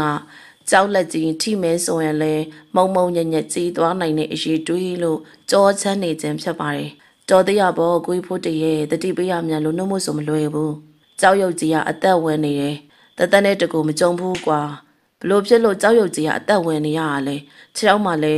ကြောက်ကြိုးရချီထားသေးတာ။စောနွေစေးထန်လေးပါဆက်အဟောင်းသာအံ့ဩနေရဲ့ပုံ။ကျွန်ုပ်ကတော့မှောင်နေပြီဆိုတော့ညပိုင်းစခန်းချမဲ့နေအောင်လိုက်ရှာကြည့်တယ်။အုံအုံဆိုင်ဆိုင်ရှိနေသေးတဲ့တစ်ပင်စီတစ်ပင်ကိုတွေ့ရတယ်ဆိုတော့အခြားနေရာမရှာတော့ဘဲနဲ့အဲ့ဒီနေရာမှာပဲစခန်းချဖို့ရွေးလိုက်ပါတယ်။အပင်အောက်ကို ရှင်းလင်းတဲ့သူဟာရှင်းလင်းထင်းရှာတဲ့သူရှာမင်းမွေးတဲ့သူမွေးနဲ့တက်ညီလက်ညီပြုလုပ်ပြီးတော့အေးတန်သက်သာစေဖို့မိဘအနာမှာထိုင်လို့လက်ဝါးကိုမိကစ်နေကြတယ်။ဇော်နွေစေးထန်းယူလာတဲ့ကချင်အရက်ကိုတော့တယောက်တစ်ခွက်အချမ်းပြေဖို့တောင်းလိုက်တယ်။ဖိုးတေဒီကြောက်ရွံ့ကြီးကဘလို့အသက်ဝင်လာလဲကွာ။ကြောက်ရွံ့ကြီးချက်ရောက်ကိုကျိုးရီတုတ်ထားတာတယောက်ယောက်ကကြောက်ရွံ့ကြီးကိုဖမ်းကျုပ်ထားတာနဲ့တူတယ်နော်ကိုကြီးဘလို့ထင်လဲဗျ။ ဇော်နွေစေးထန်းနဲ့တာဝါကကြောက်ရွံ့ကြီးအကြောင်းကိုသိလို့လို့မေးတယ်။ဒါတော့ကျွန်ုပ်လည်းပဲသိမလဲတာဝါရဲ့ထင်တာပြောရရင်တော့ဒီကြောက်ရွံ့ကြီးကအကျဉ်းကျနေတာဖြစ်လောက်တယ်။ကြောက်မှကြောက်ကျိုးတွေနဲ့တုတ်ထားတော့ကျိုးအရှိတစ်ခုစားပဲသူလှုပ်ရှားနိုင်တာမျိုးပေါ့။နောက်ပြီးတော့ဒီကြောက်ရွံ့ကြီးရှိရတရိတ်ဆန်အယိုးပုံတွေကိုကြည့်မယ်ဆိုရင်ဒီကြောက်ရွံ့ကြီးကကူရဲဝင်လာသမျှအကောင်တွေကိုဖန်းစားနေရတဲ့တူတယ်ကွာ။ကျွန်ုပ်ရဲ့စကားကိုစောနှွေရအံ့ဩတဲ့ပုံနဲ့ကြောက်ရွံ့ကြီးက တရိတ်ဆန်တွေကိုစားတယ်ဆိုတာဖြစ်နိုင်ပါမလား။နောက်ပြီးတော့ဒီကြောက်ရွံ့ကြီးကိုဘသူကဘာဖြစ်လို့ဖမ်းထားတာလဲတော့မသိဘူးနော်။ငါအထင်ပြောတာကစောနှွေရဲ့ငါအထင်ကအတိအကျအမှန်လို့တော့ပြောလို့တော့ဘယ်ရမလဲ။ကိုဖို့တေအထင်လေးဆက်ပြောပါဦး။တာဝါကဝင်ပြောလာတော့ဒီကြောက်ရွံ့ကိုဘသူကဘာဖြစ်လို့ဖမ်းချုပ်ထားတာလဲဆိုတာမသိပါမဲ့ဒီကြောက်ရွံ့ကြီးကိုတွေ့ရောရှေးဘရင်တပားလက်ထက်ကအကြောင်းအရာတကူသွားတတိရတယ်ကွာမင်းတို့ငါတို့မဟုတ်ဆိုးရဲ့အတွက်စင်ကြင်စရာအကြောင်းအရာမျိုးပေါ့ အေးပြောစမ်းမဖို့တေရှေးတုန်းကဘရင်တပားတောကစားအယံဝသနာပါတယ်သူကကိုယ်တိုင်ပြစ်လို့ရတဲ့တားကောင်တွေကိုဖုတ်ကင်စားရတာတော်တော်ကိုဂရင်းတွေ့တယ်လို့ပြောတယ်အဲ့ဒီလိုနဲ့တနေ့ကျတော့တောကစားထွက်ရင်ကအဖိုးရင်းနဲ့ကွဲလို့တော်ရဲလျှောက်သွားရလူတယောက်ကိုတွေ့တယ်အဲ့ဒီလူကအောက်ပိုင်းကကြောက်ဖြတ်နေတာအပေါ်ပိုင်းကလူပဲသူကအစာရည်စာငတ်မလွန်လို့ဘယင်စီကအစာရည်စာတောင်းတော့ဘယင်ကအနာမကက်ရရနဲ့ တစ်ကိုင်းရှိတစ်ချောင်းအဖျားမှာအစာနဲ့ရီကိုချီပြီးတော့မှအဝေးကနေလှမ်းပေးတာဘယင်ကလည်းကြောက်သားတစ်ပိုင်းလူကိုတအန်တောနဲ့ဘာဖြစ်လို့အခုလိုကြောက်သားတစ်ပိုင်းဖြစ်ရတာလဲလို့မေးတော့အဲ့ဒီလူကပယွင်ကျွေးတဲ့အစာရည်စာအတွက်ကျေးဇူးတင်ကြောင်းသူကအခုလိုအောက်ပိုင်းကြောက်ဖြတ်ပြီးတော့တောထဲမှာအခုလိုနေတာနှစ်ပေါင်းထောင်ပေါင်းများစွာရှိနေပြီလို့ပြောတယ်။သူကအခုလိုဖြစ်ရတဲ့အကြောင်းကသူကအရင်ကမဟုတ်ဆိုးတယောက်ဖြစ်တဲ့အကြောင်း တောတတဝါတွေကိုတက်ဖြတ်ရင်ဟာတနေ့တောထဲကိုအမဲလိုက်ထွက်တော့အခုနေရာကိုရောက်တော့ကြောက်လှုပ်လို့မရတော့ဘဲနဲ့တပြေးပြေးအောက်တစ်ပိုင်းကကြောက်ဖြစ်သွားတဲ့အကြောင်းသူကအစာရည်စာစာလောင်မသိမ့်မှုတွေကိုနှိရှိလများခန်းစားရင်ကအခုလိုဘဝနဲ့ရှိနေတာကနှစ်တစ်ထောင်ရှိနေရဲ့ဆိုမှမဲသေလဲမသိနိုင်သေးကြောင်းတအန်တောနဲ့ပြောပြတယ်ဘယင်းရုံလည်းသူများအသက်ကိုမသက်ဖို့ သူ့လိုဝစ်စင်ရဲ့မခံစားရစီလိုတဲ့အကြောင်းဘယင်းကြီးကိုပြောပြတယ်အဲ့ဒီဖြစ်ပျက်တွေကိုမြင်ပြီးရနောက်တော့တောကစားချက်အလုပ်ကိုဘယင်းကလည်းရှာသက်ပန်ဆွတ်လွန်လိုက်တယ်တဲ့ဖို့တေမင်းဟာဟုတ်ပါမလားငါအဖိုးလည်းမဟုတ်ဆိုငါအဖေလည်းမဟုတ်ဆိုကွာဘာမှမဖြစ်ပါဘူးစောနွေရငါမဟုတ်ဆိုတော့အဲ့လိုဖြစ်မယ်လို့ပြောတာမှမဟုတ်တာမင်းတို့ဘာသာတော့မသိဘူးကွာငါတို့ဘာသာတော့သူများအသက်ကိုတတ်ရင်သိရင်ငရေကြတတ်တယ် မသေးခင်လဲဝစ်ဆိုတာလဲတယ်ကွာကဲထားပါဘာသာရေးကတော့ငါအခုပြောချင်တာငါအစောနာပြောတဲ့ရာဇဝင်စန်းစာပါအကြောင်းအရာလို့အစောနာကကြောက်ရွံ့ခြင်းရဝေကျွေးခံနေရတာလားလို့ဆက်ဆက်စဉ်းစားမိလို့ပါဟုတ်ချင်မှလည်းဟုတ်မှာပေါ့စောနွေစေတံကဗုဒ္ဓဘာသာသဘောတရားအကြောင်းတွေကို ပြောတော့ဝဲအကြောင်းတွေကို နားထောင်ပြီးတော့စောနွေကတော့နားလေသလားမလေသလားတော့မစိုးနိုင်ဘူး ညလေရတသုံးသုံးတိုက်ခတ်လို့ချက်အေးလွန်နာကြောင်အိတ်ဆက်လို့မရတာနဲ့မိပုံကိုထဲမပြတ်ထိတ်ရင်ကကျွန်ုပ်တို့ပါလာတဲ့စောင်းပါးလေးကိုကောင်းကနေချုံလို့မိပုံပေးကျွန်ုပ်တို့လူစုလိုက်ကြတယ်ညနေလာတဲ့အချိန်တော့မိဘုံနှစ်ပေးမှာကျွန်ုပ်တို့၃ယောက်ငိုင်မီးနေရဲ့အချိန်တိုးတိတ်စွာနဲ့လှူရှားနေအတန်တစ်ခုကိုတော့ကျွန်ုပ်တို့ခေါင်းထက်ကနေကြားလိုက်ရတယ်ကျွန်ုပ်ကနဘေးမှာချထားတဲ့တနက်ကိုအသားရလေးယူလို့ အတန်မထွက်စေဖို့မောင်းကိုကြိတ်ပြီးတော့တင်နေအဲ့ဒီနောက်တော့နဘေးကစောနွယ်စေးထန်ကိုလက်ကုပ်လိုက်တော့စောနွယ်စေးထန်ကစက်ကနေနိုးလာတော့ကျွန်ုပ်ကနှကန်းပေါက်ကိုလက်ညှိုးတင်းလို့တိတ်တိတ်နေဖို့အချက်ပြရင်အပင်မော်လက်ညှိုးထောင်ပြပြီးတော့လက်နှိပ်တက်မီကိုတော့မိကိုလက်ညှိုးညွန်ပြရာစောနွဲကနားလေတယ်လို့ခေါင်းညိပြတယ်စောနွဲစီထန်ကလက်နှိပ်တက်မီကင်ပြီးတော့အတန်ကိုဆက်ပြီးတော့နားထောင်တဲ့အခါမှာ လှူရှားတန်တက်တဲ့ဆက်လက်ပေါ်လာပြန်နေစောနွဲစီထန်နဲ့ကျွန်ုပ်ဖြင်းချင်းစွာနဲ့မတည့်ရဲလို့ထားတော့ရုတ်တရက်လှူရှားတဲ့အသက်အကျယ်ကြီးပေါ်လာပါတယ်အပင်ပေါ်မှာရှိနေတဲ့မိတီတရိษံမမသိရဲ့အကောင်ကမိဘုံပေါ်မှာလှူရှားနေတာကို တွေ့ရတယ်ဆိုတော့အပင်တစ်ဖက်ကို ခုတ်ကူးပြီးတော့တစ်ကိုင်းလှုပ်တဲ့အတန်ကြီးပေါ်တယ်ကျွန်ုပ်တို့နှစ်ယောက်ကပါစက်အဟောင်းသားကြီးဖြစ်လို့ဇော်နွယ်စေထန်လက်နှိပ်တမရအောင်မှတွေ့ရတာက အသက်50အရွယ်မုံစိတ်မွေးထုလက်ပြက်ကိုတုံးလုံးနဲ့လူတစ်ယောက်ကတစ်ကိုင်းတစ်ကိုင်းကိုတော့ဖတ်တွေ့ပြီးတော့ကျွန်ုပ်တို့ဘက်ကိုကြည်လာပေးရတဲ့တခါတည်းပဲတပ်ပင်တပင်ရနေတပင်လင်းမြန်စွာကူးလူပျောက်ကွယ်သွားတာပါကျွန်ုပ်တို့အပင်ဘဝတွေ့ရတာကငောင်းဖြစ်မယ်ဆိုတာကျင်းသေးတယ်ခြေရောက်ကတစ်ချောင်းနဲ့ရှိပြီးတော့ခြေဘဝကနောက်ကိုရောက်နေပြန်တယ်ဦးကောင်းရဲ့နောက်စိရလည်းခြုံပြီးတော့ကောက်လို့စပင်ရှီရီရလည်းပေါက်နေပြန်တယ် နဖူးပြောင်ပြောင်မေးရိုးကောက်ကောက်နဲ့ငောင်းဖြစ်တယ်ဆိုတာတော့ကျင်းသေးပဲဘာဖြစ်လို့လဲဘာတွေ့လို့လဲတာဝအိမ်မုံစုံဘွားနဲ့ထားတယ်ငောင်းတွေ့တဲ့တာဝရေကျွန်တော်ကြည့်ကြမှာလေဆိုကျွန်တော်မနှိုးကြအောင်ဗျာကျွန်ုပ်တို့တော့တေးချာမတွေးလိုက်ရဘူးတာဝရဲ့မင်းကိုနှိုးချိန်ပဲရမလဲနိုးလာတဲ့တာဝသူငောင်းကိုမကြည့်လိုက်ရတော့စိတ်မနိုင်ခဲမရကျွန်ုပ်တို့တွေမအိတ်ကြတော့ဘဲနဲ့မိဘုံကိုထင်းအဆက်မပြတ်ဖြည့်တယ်မိဘုံပိနာမှာစကားပြောနေကြပြန်တယ် တာဝကငောင်းကိုသူမတွေ့လိုက်ရတဲ့အတွက်ငောင်းကမိတို့မိပုံဖြစ်တယ်လေဆိုတာကျွန်ုပ်ပြောပြတဲ့အချက်တွေကြိုက်မကြိုက်စောနွဲ့စေးထန်ကိုမေးနေပြန်တယ်မနက်မိုးလင်းလာတော့ကျွန်ုပ်တို့လူစုကညကငောင်းပြေးလွှားရာတက်ပင်ဖက်စီကိုထွက်လာခဲ့ကြပြန်တယ်တပြေးပြေးချီဥတက်ရာရှောက်လာရင်ဟာတက်ပယ်တောအုပ်တွေတပြေးပြေးပါရလာပြီးတော့နောက်ဆုံးတောအုပ်တွေကထွက်လာတော့လွန်တီးခေါင်ရက်ကိုရောက်တယ် ဖို့ဒီဒီမှာကြည့်ရောဒါညတော့ငါတို့တွေးလိုက်ရတယ်ငောင်းချီရထန်တယ်ငါတို့စီအလာချီရပဲအပြန့်ချီရမတွေ့ဘူးမဟုတ်ဘူးစောနေရဲ့ဒီချီရအပြန့်ချီရငောင်းချီဘဝကပြောင်းပြန်ဆိုတော့သူ့ချီရပြောင်းပြန်ပေါ်မှာပေါ့အေးအဲ့ဒါငါမေ့သွားတယ်မင်းပြောမှပဲတတိယတော့တာဒီအချင်းလေးတိုင်းဆိုရင်တော့ငါ့ကိုငါတို့တွေ့ရလောက်တယ်ကဲအမြန်သွားကြစို့ဇော်နွယ်စီထံကမြေကြီးပေါ်နှင်းရည်နဲ့ဆိုဆွတ်ပြီးတော့ ထင်းရဲ့ချေရတစ်ခုကိုတွေ့ရတော့ကျွန်ုပ်တို့တွေချေရအတိုင်းလိုက်လာခဲ့ကြတယ်ခြေရကတော်တော်လေးကြီးမှပြီးတော့ခြေသေးအချွန်နေရှိနေတဲ့ပုံ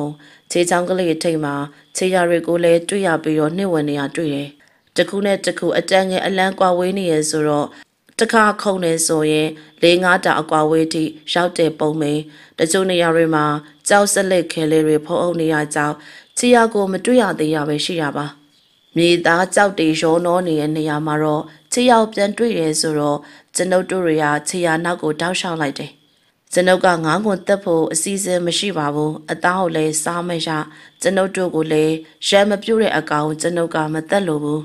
နေတဝက်လောက်ကျိုးနေပြီဖြစ်ပါမယ်ကျွန်ုပ်တို့ကချီယာအနောက်ကိုဆက်လိုက်တယ်ခောက်ဆွဲချကိုရင်နဲ့မျောချပြီးတော့သွားရင်လာရင်စားတော့လို့ဝမ်းပိုင်းပြဿနာကိုဖြေရှင်းလိုက်တယ် ရေခဲရီနေအောင်ကြီးတွေကြောင့်မို့အရေးပြောကြနေတဲ့တောင်ကုန်းတစ်ခုထိပ်မှာလှုပ်ရှားနေတဲ့လူ၃ယောက်ကိုတော့ခဝဝေးရလှမ်းပြီးတော့တွေ့ရပြန်တယ်ဟိုးမှာလူ၃ယောက်ပါလားမိသားစု၃ယောက်ထင်တယ်ယောက်ျားတစ်ယောက်မိန်းမတစ်ယောက်နောက်တစ်ယောက်ကကလေးထင်တယ်အဲ့ဒါငောင်းမိသားစုပဲအဲ့ဒီကိုကျွန်ုပ်တို့လိုက်သွားရအောင်လေယောက်ျားကြီးတစ်ယောက်တကောက်ခွက်အကျော်စပိတ်အရှိတွေနဲ့မိန်းမတစ်ယောက် 73နှစ်အရွယ်ကလေးတစ်ယောက်ကိုတော့ကျွန်ုပ်တို့ရိတ်ကနေတွေ့ရပြန်တယ်ကလေးရတရားရထားတဲ့ပုံယောက်ျားမိန်းမကဘေးတစ်ဖက်တစ်ချက်ကနေတွေးလို့ကျွန်ုပ်ကခြေတစ်ချောင်းတည်းနဲ့လင်းမြန်စွာ ခုံပေါက်ပြေးလွှားနေကြတဲ့မိသားစုဟာငောင်းမိသားစုဖြစ်တယ်ဆိုတာကိုသိတော့အနောက်ကနေလိုက်ဖို့ပြောပြီးတော့အလင်းမြန်မဲလိုက်လာခဲ့ကြတဲ့အခါမှာတော့တောင်ချီအနားရောက်တဲ့အခါမှာစပယ်ရှုပ်ရှုပ်ပွားပွားမုတ်စိတ်နှကမ်းမွေးထူလက်ပြက် အယိုးပေါ်အရေးတင်ပိန်ချုံနေတဲ့လူတစ်ယောက်ကအေးမြနဲ့ရာတီဦးတို့အချိန်နေမှာတော့နန်းငယ်ပိုင်းလေးကိုဝှက်ပြီးတော့တွေ့ရတယ်။ငေါင်းဖိုးကြီးငေါင်းဖိုးကြီးတဘောတတိတ်နေချိန်နှချောင်းတဲ့လူကိုကြည့်ပြီးတော့ငေါင်းလို့អော်နေပြန်ပြီ။ဒူးစက်နဲ့အဖိုးကြီးကိုတွေ့ရတော့တာဝအလန့်တကြားထပြီးတော့អော်တာကြောင့်မို့ကျွန်ုပ်ကမန်မဲလိုက်တော့မှတာဝပါဆက်ပိတ်သွားတယ်။ကျွန်ုပ်တို့စိတ်ထဲမှာတော့အဲ့ဒီပုံကိုကိုကြည့်ပြီးတော့ဒူးစက်နဲ့အကျက်နဲ့ကျက်နဲ့စာဒူးတယောက်များလားလို့တွေးတယ်။ သင်တို့ရှာနေသူတွေးချင်တယ်ဆိုရင်ကျွန်ုပ်နောက်ကိုလိုက်ခဲ့အဲ့ဒီပုဂ္ဂိုလ်ကကျွန်ုပ်တို့မိသည့်ကိစ္စနဲ့ရောက်လာတယ်ဆိုတာလည်းသိရပုံပဲကျွန်ုပ်ကတခုခုလှမ်းမိမယ်ပြုတ်ပမယ်အဲ့ဒီပုဂ္ဂိုလ်ကြီးဟာသူပြောချင်တာပြောပြီးတော့တောင်ချီတနေရာဥတီသွားတယ်ကျွန်ုပ်တို့၃ယောက်ကလည်းနောက်ကလိုက်လာခဲ့တော့တောင်ချီမှာရှိနေတဲ့ဂူပေါက်တစ်ခုအတွင်းလှမ်းပြီးတော့ဝင်သွားတာကြောင့်ကျွန်ုပ်တို့ကလည်းလိုက်ပြီးတော့ဝင်တဲ့အခါမှာ ထူးဆန်းတဲ့မြင်ကွင်းကြောင့်၃ယောက်သားပါဇက်အဟောင်းသားဖြစ်ကုန်တော့တာအကြောင်းကလူငယ်နှစ်ယောက်ကိုတွေ့လိုက်ရတယ်အဲ့ဒီအထက်ကတစ်ယောက်ကဦးဆက်နိုင်နဲ့စင်နာကြောင့်ကျွန်ုပ်တို့လာရင်ကိစ္စအောင်မြင်ပြီးမြောက်သွားပြီလို့တွေးလိုက်တယ်ကျွန်ုပ်တို့ကအဲ့ဒီလူငယ်ကိုကြည့်ပြီးတော့ရဲမင်းနိုင်ထင်တယ်လူငယ်ကကျွန်ုပ်ကိုအံ့ဩစွာကြည်ရင်ကမယုံနိုင်တဲ့ပုံနဲ့အကူကကျွန်တော်နာမည်ဘယ်လိုသိလဲမင်းဖေရမင်းကိုရှာဖို့ငါတို့လွတ်လိုက်တာ ပန်းတောင်ခံရွာမှာမင်းဖေတို့ရောက်နေတဲ့စောနဲ့ဒီကောင်လေးတွေကိုမဲမဲအကြောင်းစုံရှင်းပြလိုက်တော့ကျွန်ုပ်ကရဲမဲနိုင်တို့ကိုကျွန်ုပ်တို့ရောက်လာတဲ့အကြောင်းစုံကို ရှင်းပြခိုင်းပြီးတော့ဂူတောက်ကြောက်ဖြာတစ်ခုမှာငိမ့်သက်သိမ့်စိတ်လို့နေတဲ့စာဒူးကြီးရဲ့အနောက်တိုးကန်လိုက်တယ်စာဒူးတရားဟုတ်ပါသလားကျွန်ုပ်ရဲ့အမေကိုစာဒူးကြီးက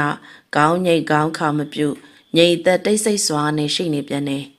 အသင်တို့ကမဟုတ်ဆိုးတရမလား ဟုတ်ပါတယ်စာတူးကြီးကျွန်ုပ်တို့တွေကလူငယ်တွေရှာဖို့သူ့ဖေကလွှတ်လိုက်တာပါသင်တို့လာမှကျွန်ုပ်ကကြိုးသိတယ်ဒါကြောင့်မို့သင်တို့ဒီနေရာကိုရောက်အောင်လို့လမ်းပြခေါ်ခိုင်းလိုက်တာဗျာအဲ့လို့ဆိုကျွန်ုပ်တို့ငါ့ကိုတွေ့ရတာစာတူးရလွှတ်လိုက်တာပေါ့စာတူးကြီးက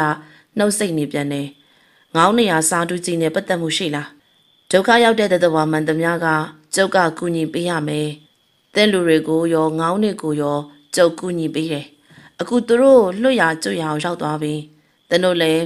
တတို့လူခေါ်ပြီးတော့ပြန်ကြပါတော့။စာတူးကြီးနှစ်နှစ်စကားပြောလာရဲဆိုတော့ကျွန်ုပ်တို့စာတူးကြီးကိုကျေးဇူးတင်စကားပြောဆိုပြီးတော့ပြန်လာခဲ့ကြတယ်။စာတူးကြီးကလည်းတမ်ပလင်ခွေထိုင်လို့မျက်လုံးမိတ်ပြီးတော့ငိမ်သက်စွာနဲ့ကြံ့နေခဲ့ပါတယ်။လူငယ်တွေကခြေရောက်ကိုလုံးတွေမှာတန်ရာရလို့တရွက်တစ်မြစ်တွေထူထောင်ပြီးတော့အနာကိုအုပ်စီးထားပြီးတော့ နေကောင်းစာပြုနေအောင်လဲတွေ့တယ်။လန်ကီတစ်ထောက်နာလို့လူငယ်နှစ်ယောက်ဘလို့အသက်ရှင်လွတ်မြောက်လာတဲ့လဲဆိုတာကိုတော့စာဒူးကြီးထက်မှမေးမြန်းကြတယ်။လူငယ်နှစ်ယောက်ပြောလာတဲ့စကားတွေကအောက်ပါတိုင်းမှာငောင်းနေဝင်သွားတဲ့ကြောက်လိုင်ကူအတွင်းဝမှာတော့လမ်းပြရွာသားကတုတ်ကိုင်းထောင်တဲ့အခါမှာငောင်းတကောင်မိတယ်။တုတ်ကိုင်းမိရဲ့ငောင်းကတော့အော်တကြီးကြီးနေရာကငောင်းကလူ73လေးနှစ်အရွယ်လူယောက်ျားလေးတယောက်နဲ့အလွန်တူတာ ငောင်းကလေးကကြောက်လန့်တဲ့ကြားနဲ့ငတ်တန်ပြုတ်ပြီးတော့အော်တော့ကိုအတွင်းပိုင်းကငေါင်းအထီးမှနှကောင်ထွက်လာပြီးတော့သူတို့တွေကိုတိုက်တယ်ငေါင်းအထီးကလမ်းပြရွာသားကိုအညိုးတကြီးလိုက်လံပြီးတော့တိုက်ခိုက်နေတယ်လို့ငေါင်းမကသူတို့နှစ်ယောက်ပြေးရနောက်ကိုတော့ခြေတစ်ချောင်းထောင်နဲ့လင်းမြန်စွာ ပြေးလိုက်ပြီးတော့လက်သေးချွန်ကြီးတွေနဲ့သူ့ရဲ့ကိုယ်လုံးတွေကိုဆွဲဖြဲပြီးတဲ့နောက်လက်သေးချက်တွေနဲ့နှစ်ယောက်သားလဲကြကုန်တာ ငေါင်းမကြီးကသူတို့နှစ်ယောက်ကိုအညိုးတကြီးလက်သေးတွေနဲ့တိုက်နေတဲ့အချိန်ငေါင်းထီရပါသွေးတန်တရေရဲနဲ့ဖြစ်လာပါပြီ။နှစ်ယောက်သားသွေးတန်တရေရဲနဲ့ကြောက်လန့်တကြားမြေပေါ်မှာလူးလိန်လို့စာဒူးကြီးရောက်လာပြီးတော့သူတို့နှစ်ယောက်ကိုကဲတင်လို့သာအသက်ချမ်းသာရရတာငေါင်းလက်များကစာဒူးရဲ့တားမြက်မှုကြောင့်ဆက်လက်ပြီးတော့တိုက်ခိုက်ခြင်းမပြုတော့တာပါ ငေါင်းနေရစာဒူးကြီးကိုတော့အန်နီယမပေးတဲ့အပြင်သူတို့သားလေးကိုတော့စာဒူးကိုလက်အမှုရာနဲ့ကဲဖို့ပြောတယ်စာဒူးကြီးကထောင်ကျောက်တုတ်ကိုင်းပေါ်မှာမိလို့လေးပေါ်မှာတွဲလွဲဖြစ်နေတဲ့ငေါင်းကလေးကိုကြည့်ပြီးတော့အောက်ကိုဖြုတ်ချပေးတယ်ပြီးတော့ဆေးပယ်ဆေးမြက်တွေကိုရှာရင်တုတ်ကိုင်းကွင်းကျိုးစီးလို့တန်ရာရနေတဲ့ခြေရောက်တန်ရာကိုဆေးထည့်ပေးတယ်စာဒူးကြီးကသွေးရိုက်ထဲမှာလဲနေတဲ့လူငယ်နှစ်ယောက်ကိုထူထောင်းထားတဲ့ဆေးပင်တချို့တန်ရာပေါ်မှာထည့်ပြီးတော့ သွေးတိတ်သွားပါတယ်ရဲမဲနိုင်ကပေါင်မှာအယိုးပေါ်တဲ့အထိလက်သေးရာကြီးရဟတ်တက်ကြီးကွဲလို့ပိန်ညောင်ရဲ့စာတူကြီးဟာလူငယ်နှစ်ယောက်ကိုဂုံပိုးပြီးတော့မှနှက်ခောက်တဲ့ရင်ကသူနေရဲ့လှိုင်းကူအတွင်းကိုထမ်းပိုးသေးလာခဲ့တာပါဒါပေမဲ့လည်းဖွဲအိတ်ကလေးကိုတရားသလိုပဲပေါ်ပါသွက်လက်စွာနဲ့တဲသွားတာကိုတွေ့ရတယ်ပြီးရနောက်တော့သူတို့နှစ်ယောက်ရထားတဲ့တရားတွေကိုလည်းစေကုတာပြီးခဲ့ပါတယ်စာတူကြီးက သူတို့နှစ်ယောက်ကိုစကားပြောခြင်းသိမ့်မရှိဘူးစားတောက်စရာတွေကိုလည်းကူးပြန်ဖက်ပေါ်မှာအစံတန်တန်ထားပေးတာကိုတွေ့ရပြန်တယ်တရားကောင်းတော့လာရှာတဲ့သူတွေရောက်လာမယ့်အကြောင်းပြောတဲ့အခါမှာမယုံမရဲဖြစ်နေကြတဲ့အချိန်တရားသက်တာလာတော့ကျွန်ုပ်တို့ရောက်လာခြင်းပဲဖြစ်ပါတယ်ကျွန်ုပ်တို့ရောက်လာမယ်ဆိုတာကိုတော့စာဒူးကြီးဘလို့သိတာလဲတော့မပြောတတ် စာဒူးကြီးကငေါင်းနေကိုစောင့်ရှောက်ပြီးတော့အသီးနှံတွေကငေါင်းနေလာပြီးတော့ပေးခြင်းဖြစ်နိုင်တယ်လို့ကျွန်ုပ်တွေးမိတယ်စာဒူးကြီးရဲ့အပြောအရငေါင်းနေကိုလွတ်ရာကျွတ်ရာဒေသကိုရောက်သွားပြီလို့ပြောတာကြောင့်စာဒူးကြီးစကားကိုထောက်ရတော့ဒီရက်မှာငေါင်းမိသားစုမရှိတော့ဘူးလို့ယူဆလို့ရပါတယ်ကျွန်ုပ်တို့တွေကလူပြောက်လာပြီးရှာရည်ရွယ်ချက်ကလည်းပြည့်သွားပြီဆိုတော့အဲ့ဒီနေရာကနေ ပေါ်ပါသွက်လက်တဲ့ခြေလန်းနေနဲ့ရှောက်လန်းလာခဲ့ကြပါတော့တယ်ပရိသတ်များရှင်အခုပရိသတ်များကိုတော့စာရေးဆရာမျိုးကိုအလင်ကရဲ့လွတ်မြောက်ခြင်းဆိုတဲ့ဝတ္ထုတို့ဇာတ်လမ်းကိုတင်ဆက်ပေးခဲ့တာပါကျမတို့ channel ကနေတင်ဆက်ပေးနေတဲ့ဇာတ်လမ်းကောင်းများကိုအားပေးနေတဲ့အတွက်ကျေးဇူးတင်ပါတယ်ရှင်